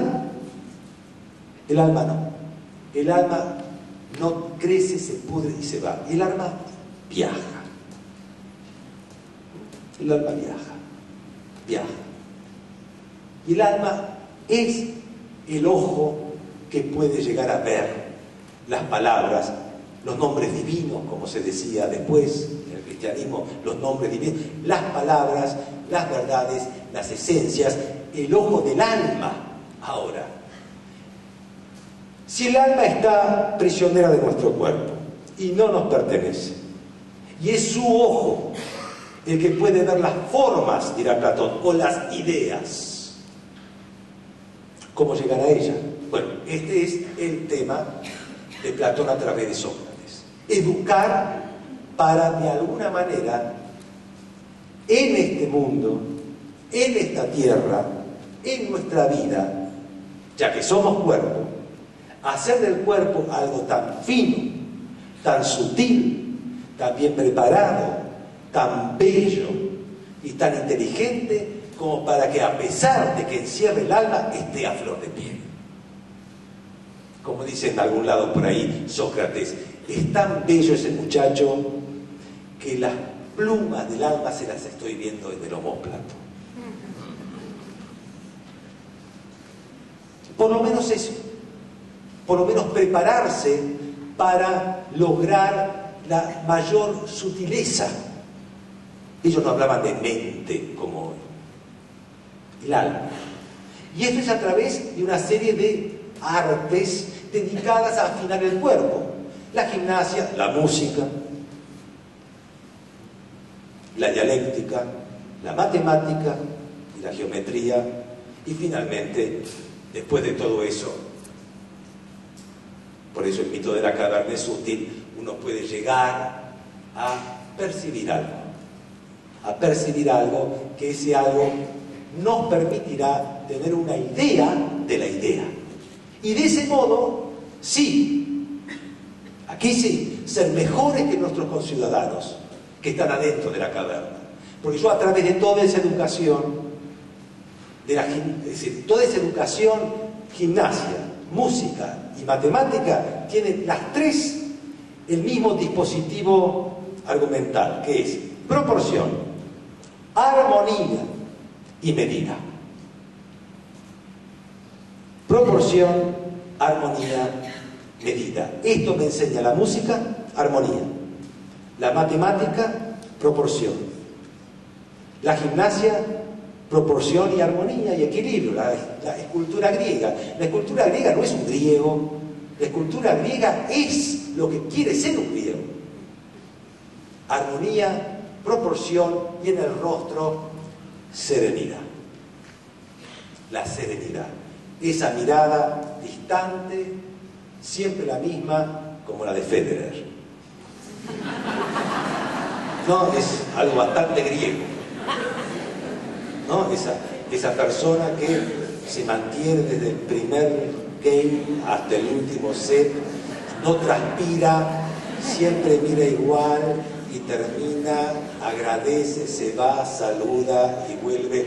Eso era Sampras también eran así, son, son griegos, atletas, el atleta griego, la serenidad, es decir, la sofrosine, que quiere decir, viene de medida, el hombre moderado, temperante, el moderado y el temperante, el que está en su justo medio, medido, no excedido, no loco, no para arriba y para abajo, no maníaco depresivo, no un poseso, sino el hombre que está, que es sereno, el hombre que tiene la vista en medio de las cosas. Entonces, esto, todos estos preparativos corporales, musicales, matemáticos y después aplicados al arte de la palabra, me preparan para entender con el tiempo aquello que me dispone a pensar bien. A pensar bien. Y pensar bien me permitirá, porque a un griego le interesa eso, no nos olvidemos de la polis, ¿eh? a pensar bien me permitirá gobernar bien. Y no en manos de estos magos de la palabra que lo único que me enseñan es a seducir. Acá tenemos que hacer otra cosa con la palabra, no es seducir, es amar el bien. Eros al servicio de Sofos, filosofía. Ustedes enriquecerán contextos y lecturas todas estas cosas y este, para pensar y para que me hagan preguntas. En general, ordenémonos un poco. Si les pareció todo mal lo que dije, no lo digan. Dejen preguntar al otro que quiere preguntar algo. Si me equivoqué en varias cosas, tampoco lo digan. Y hablemos un poco sobre el tema que nos reúne, a ver eh, qué es lo que pasa en la medida de mis posibilidades. Eh, avancemos un poco, pero ya un poco más así en diálogo. ¿Qué les parece? ¿Está bien? Así, con entera libertad. Digan lo que quieran. ¿Cómo hacemos? Eh, respecto a esto último que dijo sobre eh, alcanzar esta, este ideal de pensar bien para gobernar bien, quería podría explicarse un poco sobre qué consideraban los griegos gobernar bien, porque el concepto de bien es tan digamos, contextual como cualquier otro concepto. ¿Qué llamaban ellos gobernar bien? Yo creo que el que, más se ocupó de eso, dentro de mis conocimientos limitados, fue Platón, en la República. La idea de, de un buen gobierno es la idea de un orden. Orden. ¿Qué es orden? Orden es una, el orden es una organización eh, dispuesta, a ver, el orden es una organización que eh, dispone lugares y ocupantes.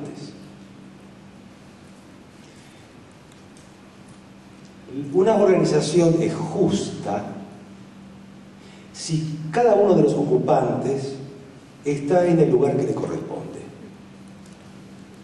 Esta correspondencia entre ocupante y lugar, me refiero a una sociedad, únicamente puede estar dada por una idea, que es la idea de justicia, que tautológicamente no es otra cosa que un orden adecuado. Este orden es un orden jerárquico. Los griegos ni se les ocurre pensar en términos de humanismo y de igualdad de todos los hombres, de que somos todos criaturas y todo igual. Los griegos es una sociedad de notables, elitista y aristocrática, en donde los llamados ciudadanos, esto ya en términos históricos estoy hablando, es un grupo minoritario. Y nosotros son nosotros. Es cierto que un esclavo se puede convertir en ciudadano. Rara vez ocurre. Ocurre que un meteco, un inmigrante, sea aceptado por la comunidad ateniense. Ocurre. Pero es un grupo minoritario, es un grupo elitista. Entonces, cuando Platón piensa en la república, también piensa en términos jerárquicos, pero no en una jerarquía que se basa en la riqueza, sino una jerarquía que se basa en un saber. Gobiernan los que saben. Un buen gobierno es donde gobiernan los filósofos, que son los que saben. ¿Qué saben? De lo que hablamos. El nombre de las cosas y el valor de las cosas, que es lo mismo. Estos que saben no constituyen toda la sociedad, no es una asamblea a la democrática que arruinó a Atenas, porque todos saben, todos hablan, todos opinan doxa. Y la opinión tiene el mismo valor que el tiempo, se va, viene y se va, fluye, no.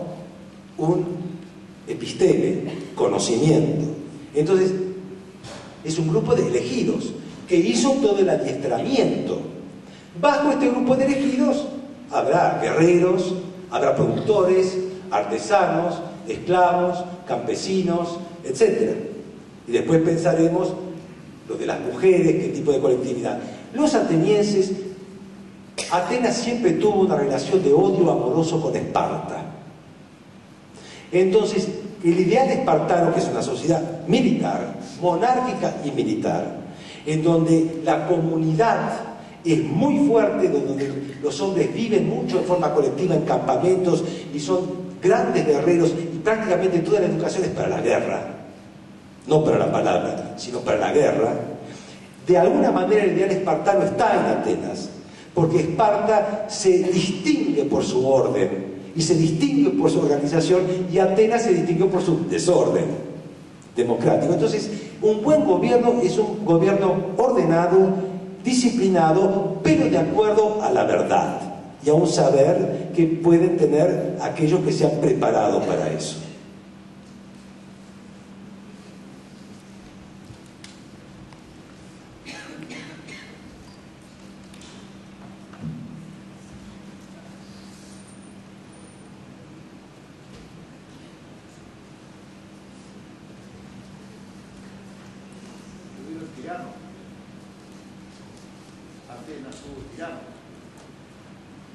Sí, acá me dicen sobre tiranos. El tirano es una, claro que, el tirano es una figura benevolente. No tiene la acepción que nosotros le damos, de despótico y dictador. El tirano es un personaje llamado por el pueblo para resolver cuestiones que no puede resolver entre pares.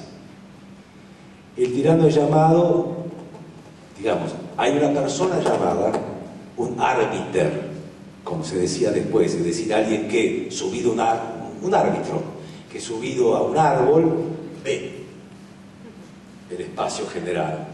Bueno, ¿quién lo ve? ¿Quién puede tener una visión global? O sea, equidistante. Entonces llaman a uno. En un momento dado se llamaba el legislador y también tirano. El tirano se lo llama para poder resolver una cuestión que los pares no pueden resolver. Y de esa manera, por su pericia, por su sabiduría y por su virtud, puede llegar a destrabar una situación. Ahora, la tiranía implica un peligro por ser el gobierno de uno solo, que es que el tirano le guste quedarse y estar, no solamente cumplir con su función, sino ya apropiársela y usarla cuando a él se le ocurre, no cuando se le ocurre a los otros. El buen tirano es, tirano mientras se les ocurre a los otros. Pero cuando ya se le ocurre a sí mismo solo, ya no es un buen tirano. Siempre hay un peligro con la tiranía. No es recomendable para los griegos. En las discusiones de monarquía, tiranía, aristocracia, oligarquía eh, o democracia, es permanente en Aristóteles también es en Platón y en la filosofía política que ellos piensan. Generalmente, en promedio, lo que mejor consideran son las aristocracias, donde gobiernan los que saben.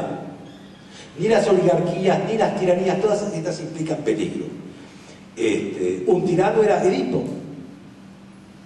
La tragedia de Sófocles se llama Edipo Tiranos Edipo también es llamado para resolver cuestiones y de bueno tuvo su aventura particular. Pero eh, tuvo tiranos y eh, eh, el tirano es una figura muy presente y a la que se remite cuando se discuten las cuestiones del gobierno.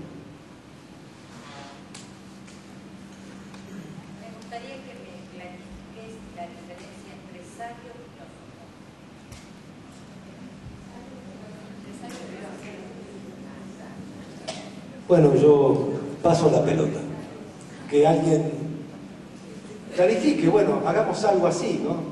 yo creo que lo dije claro, pero a lo mejor no es suficientemente claro. Bueno, alguien que lo aclare. La diferencia entre filósofo y, sabio. ¿Alguien quiere? A ver, pero con, micrófono. Haremos con micrófono, si no se escucha. Eh, no, la diferencia me parecía que era que fundamentalmente el sabio recurre mucho al mito. en el sentido de que trata de explicar la realidad y continuamente trata de recurrir al mito. Y digamos, lo que quiero decir también es que, con respecto a lo que estaba diciendo antes, de, va, digamos, con la cuestión de la tiranía, cuando, se, cuando se producía un desorden, ¿no es cierto?, en la polis, eh, también se recurre continuamente al mito como para poder este, calmar las aguas, digamos. En Grecia se, recurría continuamente al mito, a pesar de que el mito había sido dejado de lado, digamos, por el nacimiento de la filosofía. Pero la filosofía como que no puede dar por tierra con la cuestión del mito, ¿no? La Ilíada, la Odisea, todas esas cosas. Continuamente se recurre al mito para restablecer el orden. ¿Cómo eso eh, era visto por los filósofos de esa época? El sabio es sabio sabe. Sabios era Heráclito, sabio era Parménides, sabio era Pitágoras, sabio era Solón. No recurrían al mito, eran sabios, legisladores, jefes de secta, jefes de gobierno. Al contrario, Parménides es un antimito, Heráclito es un antimito. Son ha quedado muy poco de ellos. Usan a veces figuras, pero fundamentalmente son de un altísimo grado de abstracción. Algunos son matemáticos. Pitágoras es un jefe religioso, místico, matemático. Son personajes evocados, lejanos y majestuosos. Dirá Nietzsche en sus paseos por la Grecia, dirá, las grandes presencias sacerdotales, no como gigantes, sino como gigantes. Los griegos usaban mucho los zancos en el teatro. Los personajes griegos andaban con zancos y máscaras, siempre alto, ¿no? dar esta imagen. El efecto especial era con zancos, con megáfonos y máscaras, y mucho timbal y tambor para crear atmósferas de temor. Aristóteles decía eso, ¿no? Temor, temblor, compasión, es decir, eh, eh, no era una obra de teatro que no, eh, creaban grandes, tenían miles de espectadores, grandes, grandes personajes, son sabios. Platón dice filósofo, porque el filósofo pertenece a una época de decadencia. Platón escribe en una época de decadencia. La decadencia de aquel mundo donde todavía había sabios, donde todavía había legisladores y grandes palabras de grandes figuras sacerdotales, ese mundo tuvo su último momento de decadencia crítica con la muerte de Sócrates, porque así terminó el mundo ateniense. ¿Se podrá volver a esa época de sabios? Y de alguna manera, y esto lo verán en el maravilloso libro de Coli, esta es la parte más genial cuando llega a Platón. En principio parece que no. Platón es pesimista. Platón es entre pesimista y melancólico. La época de los sabios era una época en que el conocimiento y la relación del sabio con el resto era la relación del, del hombre que sentenciaba, que usaba la palabra y esa palabra había que descifrarla Ustedes saben la importancia que tiene el oráculo en el mundo griego, el desciframiento de los enigmas. Era una palabra oscura, como Heráclito el oscuro, una palabra que había que descifrar, que nos vinculaba con ese otro lugar del que proviene el alma. Había como una presencia física, sino una luz, un sonido que el sabio transmitía en su personalidad, en su majestuosidad. Esa época no está.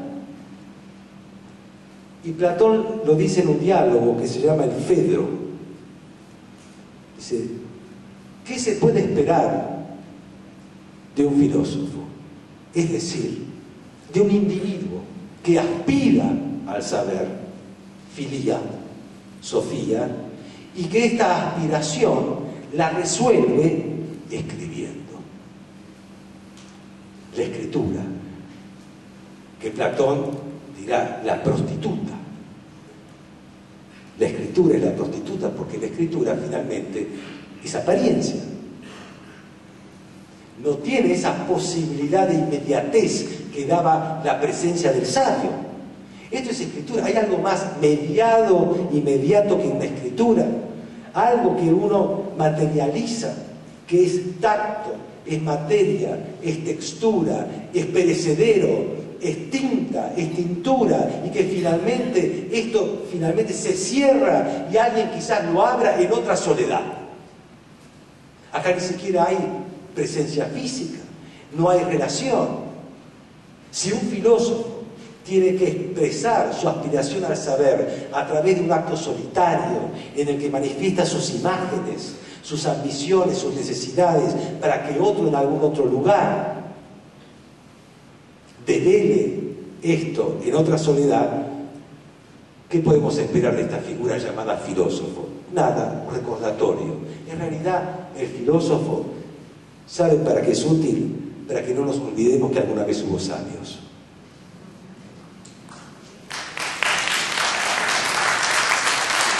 Entonces, en Platón hay esta especie de añoranza, de melancolía y de, y de eh, aceptación de los límites. Y al mismo tiempo, claro, es Platón.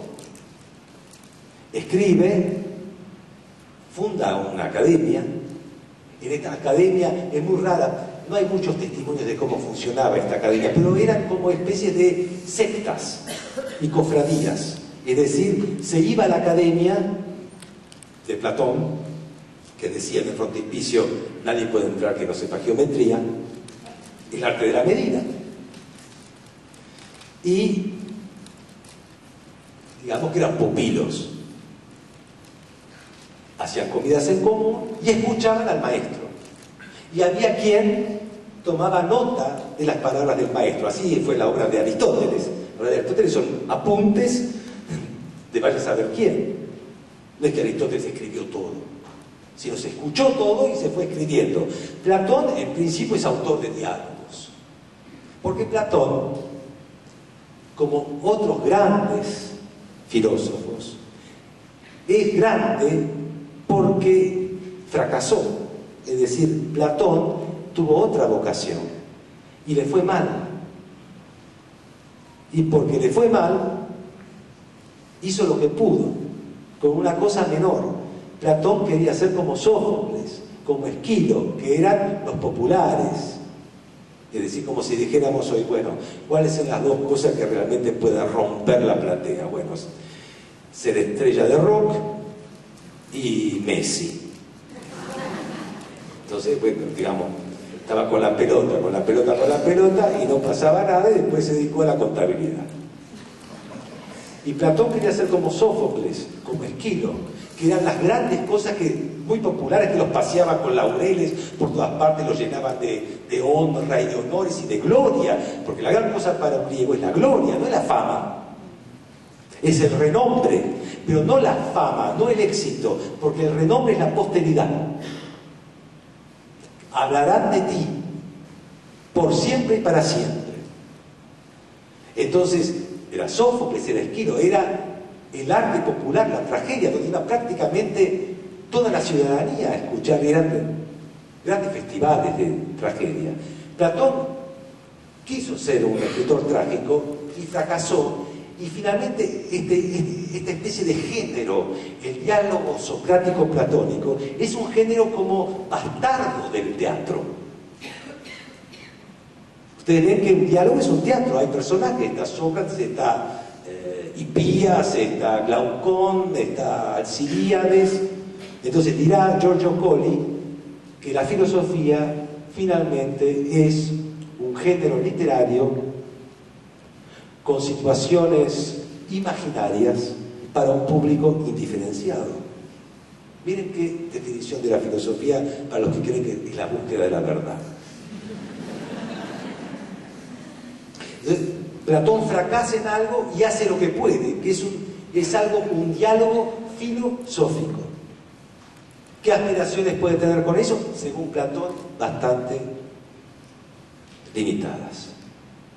Entonces la diferencia entre el sabio y el filósofo es entre, esa realidad que evoca este personaje que finalmente cierra una etapa. Lo que no sabía Platón es que él es el primer filósofo y abre otra. Que no, es, no Sócrates es el último de los sabios, sino que Platón es el primero de los filósofos. Bueno, eso no lo sabía. Sí, profesor.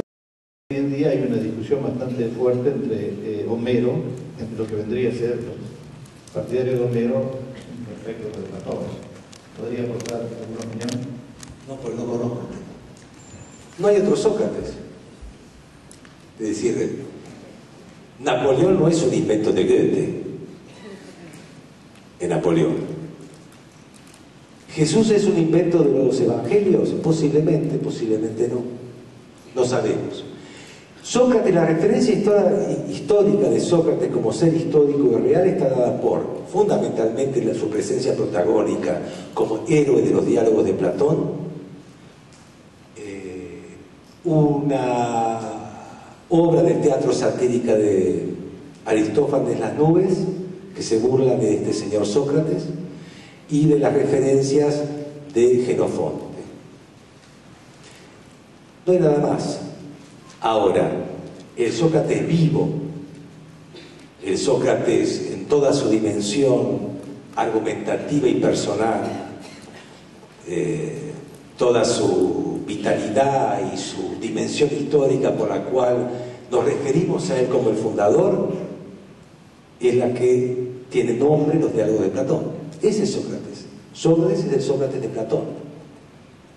Platón inmortalizó a Sócrates. Sin Platón ni siquiera tendría vida.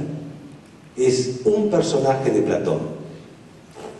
Y este personaje tiene la virtualidad de ser fundador.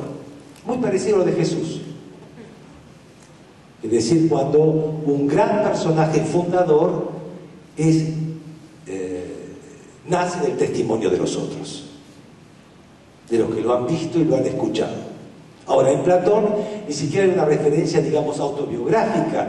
Este, ahora nos podría decir si Platón es personaje de Platón, pero indudablemente los jóvenes, muchos son personajes históricos. toda, es decir, yo creo que Sócrates más bien que existió. yo creo en Sócrates. Pero no, pero no sé si vivió, yo creo. Poca cosa que creo. Yo creo en Sócrates.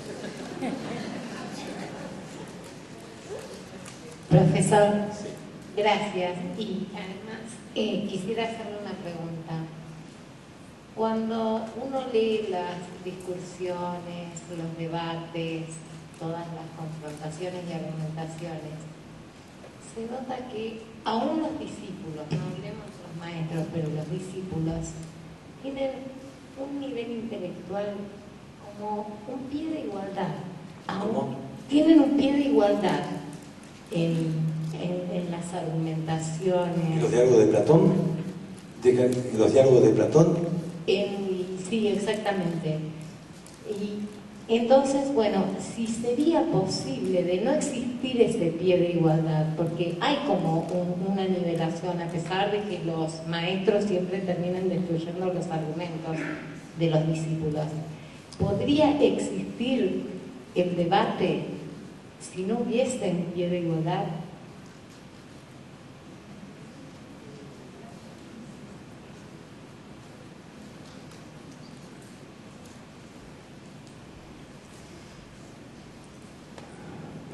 Sé.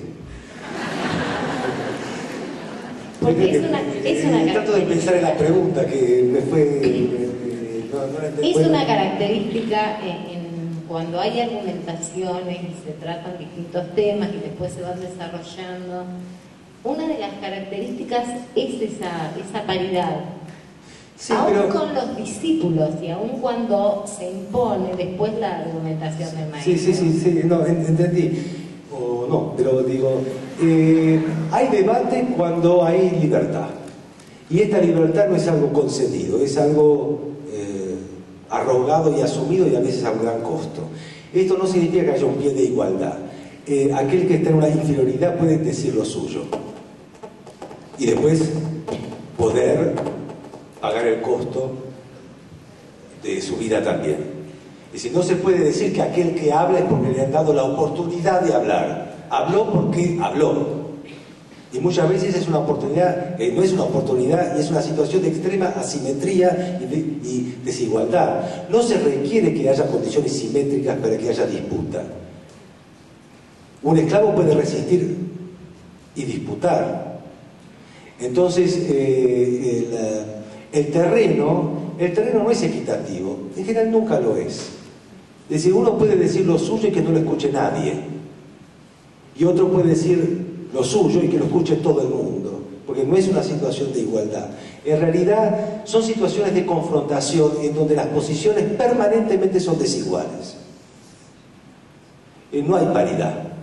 Ahora puede haber una condición formal de paridad, por ejemplo la libertad de expresión, o puede haber ciertas reglas de juego amplias, pero permanentemente están eh, rebalsadas por situaciones materiales de desequilibrio. Entonces, eh, yo creo que no, no, eh, no existe la igualdad.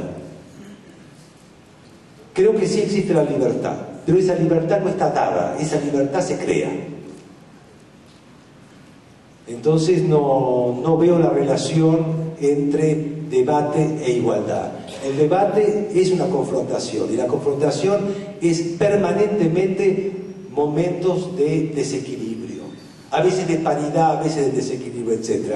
En los diálogos de Platón es evidente, primero que no son diálogos, por sentido común, es un, es un escritor de Platón es una obra de Platón, en donde él hace figurar y desarrollar la argumentación para llegar a un cierto lugar. Entonces, e, ese lugar se va a llegar a donde quiere Platón y Sócrates. En ningún momento Sócrates va a decir, la verdad me equivoqué. No. Incluso hay veces que uno no entiende cómo llegó Sócrates a lo que llegó, porque se saltó en cuatro etapas y además deformó lo del otro y no se entiende. Bueno, porque hay que llegar ahí y en realidad lo que más me interesa a mí de los diálogos platónicos, y yo empecé a estudiar, mi primer texto de filosofía fue de Platón a los 15 años, que no era entender la filosofía, era que me daba, era un tipo de lectura, yo no era lector, digamos, yo mi encuentro con los textos de filosofía me hizo lector, que me daba como espinaca, vigor, era un Viagra para la cabeza. Viagra me daba. Yo, después de 30 o 40 páginas de estas argumentaciones, pa, pa, pa, pa, pa, pa, me daba cuenta que eso me fortalecía la mente en un universo adolescente donde había que obedecer. Y que uno no sabía desobedecer. Primero, pues tenía miedo y segundo, porque no sabía qué hacer con la palabra. Y me daba cuenta que había una, justo lo que estaban enseñando los sofistas, digamos, que hay un arte de, la palabra para el débil, para que esté en una situación de, en defensa propia, de, acorralamiento, o sea, cómo me defiendo, que existe, como decía en ese viejo manual de filosofía cultural, héroes del pensamiento, mártires del pensamiento, un chico adolescente necesita un poco de, a todos, de leyenda, ¿no? Entonces, esta era la leyenda, que había una especie de, que la filosofía era aprender a decir no, pero no basta con MO.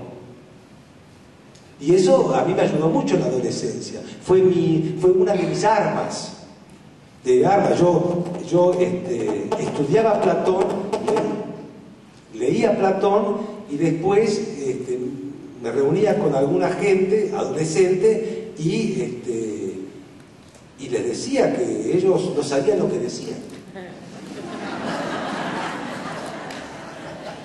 Que no sabían lo que decían.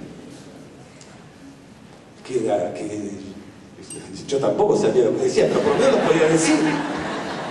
Y entonces es muy interesante en esta, en, esta puja argumentativa y de discusión de los diálogos de de Platón, este, la consistencia, no de la lógica de la argumentación, de la riqueza de la argumentación, del hecho mismo de discutir.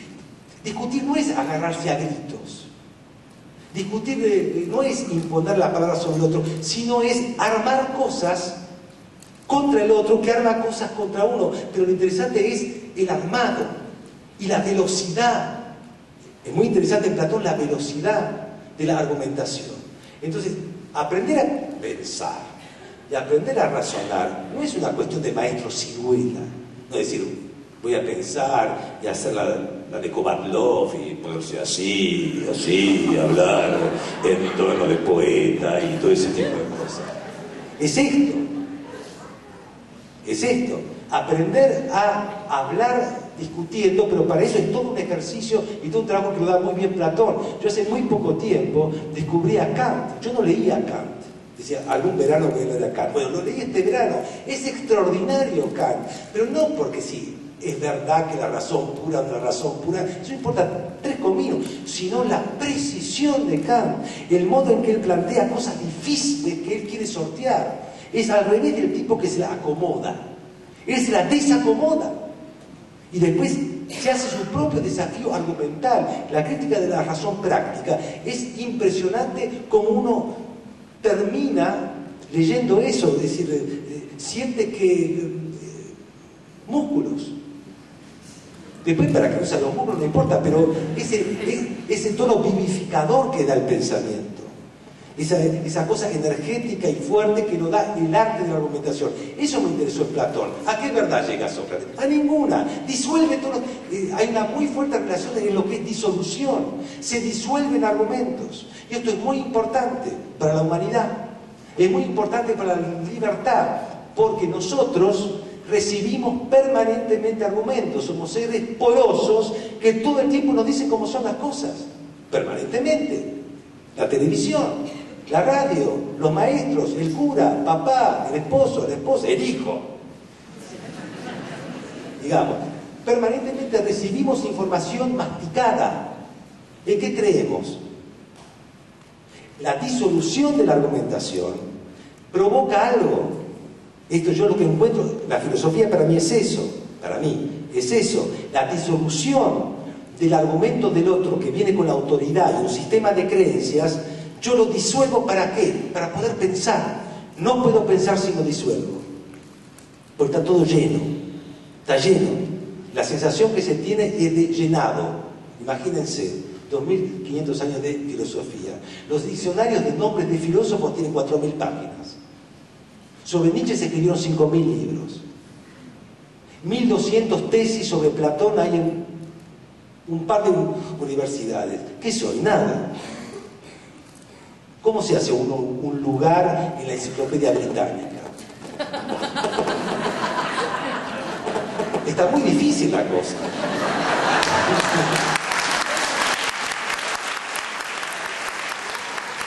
Entonces, el vigor de la filosofía es que nos permite agilizar la mente con la argumentación, con esa posibilidad de construir argumentos. Yo no hago más acá que construir argumentos, por eso eh, no es una ironía ni una sátira, y además les agradezco el estímulo que me dan aplaudiendo, pero están aplaudiendo mis construcciones. Les gustó. Entonces todo esto no es que sirva para algo, pero digamos, es un modo de expresión.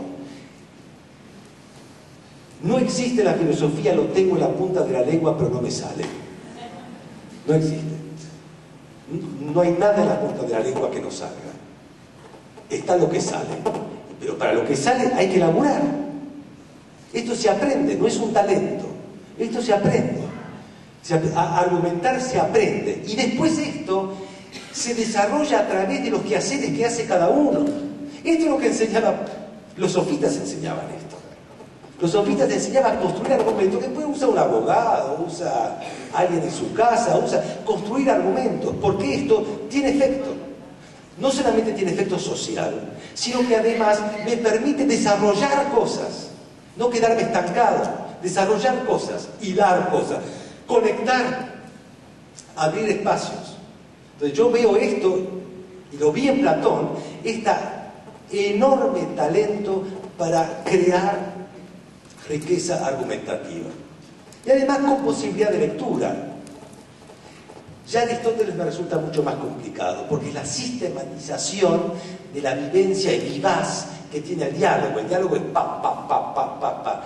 Aristóteles es silogía, es tratado, no es diálogo, es sistematización, es ordenamiento de los argumentos, es otra cosa. Desde esa perspectiva, siempre entonces, cuando de lo que usted está planteando, la filosofía siempre sería filosofía política, porque se pone siempre a otro, siempre hay, eh, digamos, eh, en, en- en- en esa argumentación, siempre hay un otro real, virtual, posible, pasado, no diría futuro, pero en algún sentido también podría hasta pensarse eso. No, yo no creo que la filosofía sea siempre filosofía política. Creo que para los griegos lo era. Porque el griego como identidad, como identidad es un ser público y no tiene otra identidad que esa. Ahora, la filosofía no es filosofía política solo, porque una de las cosas más fascinantes de la filosofía se llama metafísica. Yo creo que la identidad de la filosofía es la metafísica. La filosofía pone la metafísica y yo no sé si no somos seres metafísicos, más que seres religiosos y demás. ¿Qué es la metafísica? La metafísica es preguntarse por qué algo más bien que la nada. ¿Por qué algo más bien que nada? Esa es la pregunta de Leibniz, que retoma Heidegger. ¿Por qué algo más bien que nada? ¿Esto qué quiere decir? Algo muy simple que los chicos se han preguntado siempre, yo cuando chico también. ¿Por qué soy? Porque me hizo mamá y papá. Sí. Y a ellos también. Está bien. No, pero antes. ¿Cómo antes? Antes. ¿Antes de qué? Antes de todo. Y antes de todo nada. Ah, nada. Bueno, Dios, no. No, no te metas. Dios, no te metas. Si se mete Dios, ya está. No, Dios no te metas. Entonces, otra vez, nada. ¿Qué, es nada? Y nada es nada. Y, pero, ¿cómo es? No hay nada. Entonces, bueno, si cierro los ojos, es nada. Y fíjate, cerrar los ojos. Apagamos las luces, porque si cierro los ojos veo re- resplandores. Apagamos todas las luces y bueno, es negro. No, pero no, no negro, nada. Bueno, ese es un problema metafísico. Y ese problema, ¿alguien lo resolvió? ¿Qué es el Big Bang? No, antes del Big Bang. ¿Por qué hay existencia? ¿Por qué hay existencia? Dios, fenómeno, Dios. Para el Señor es Dios. Muéstremelo.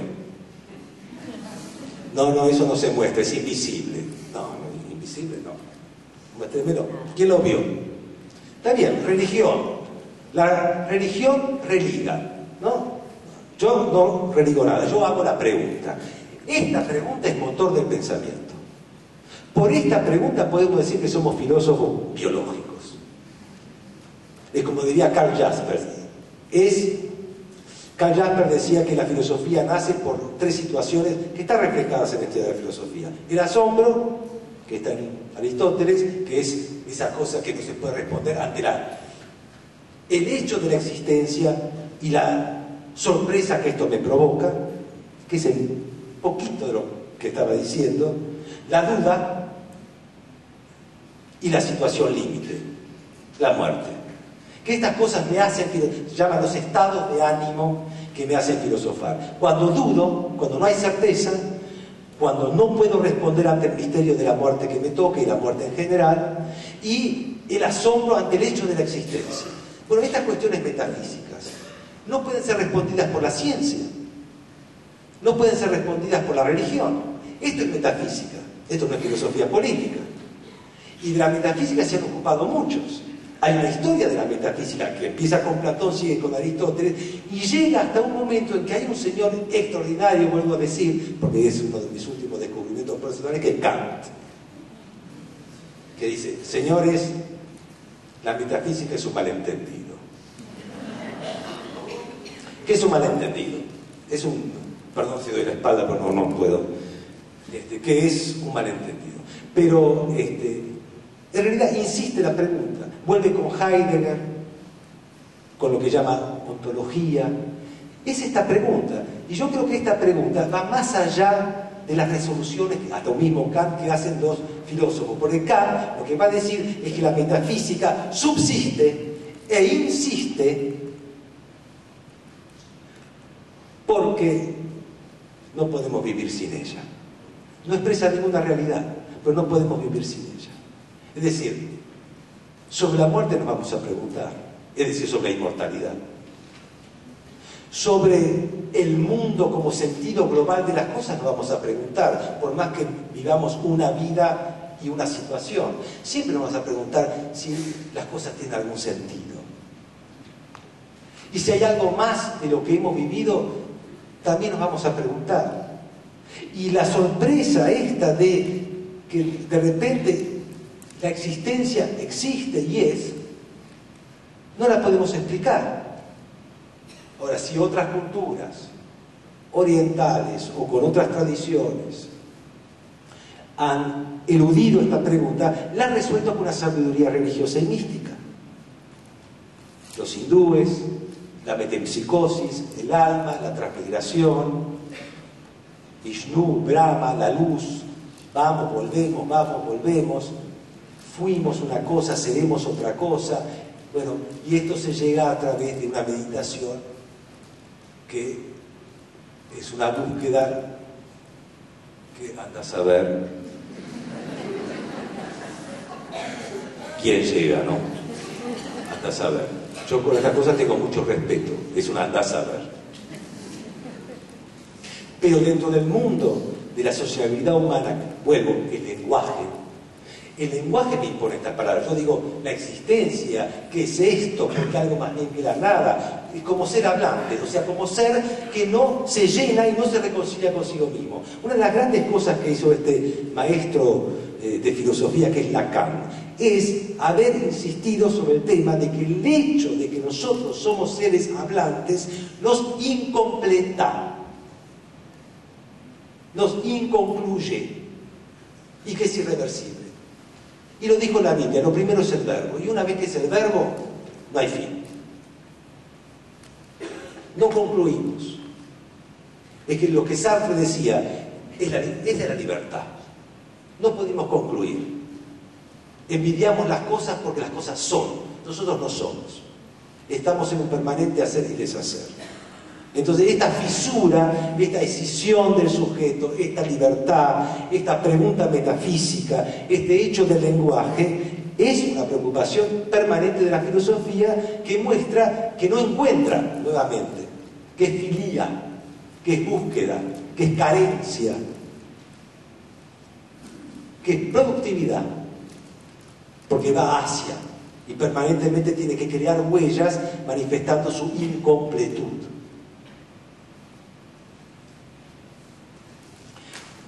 Bien.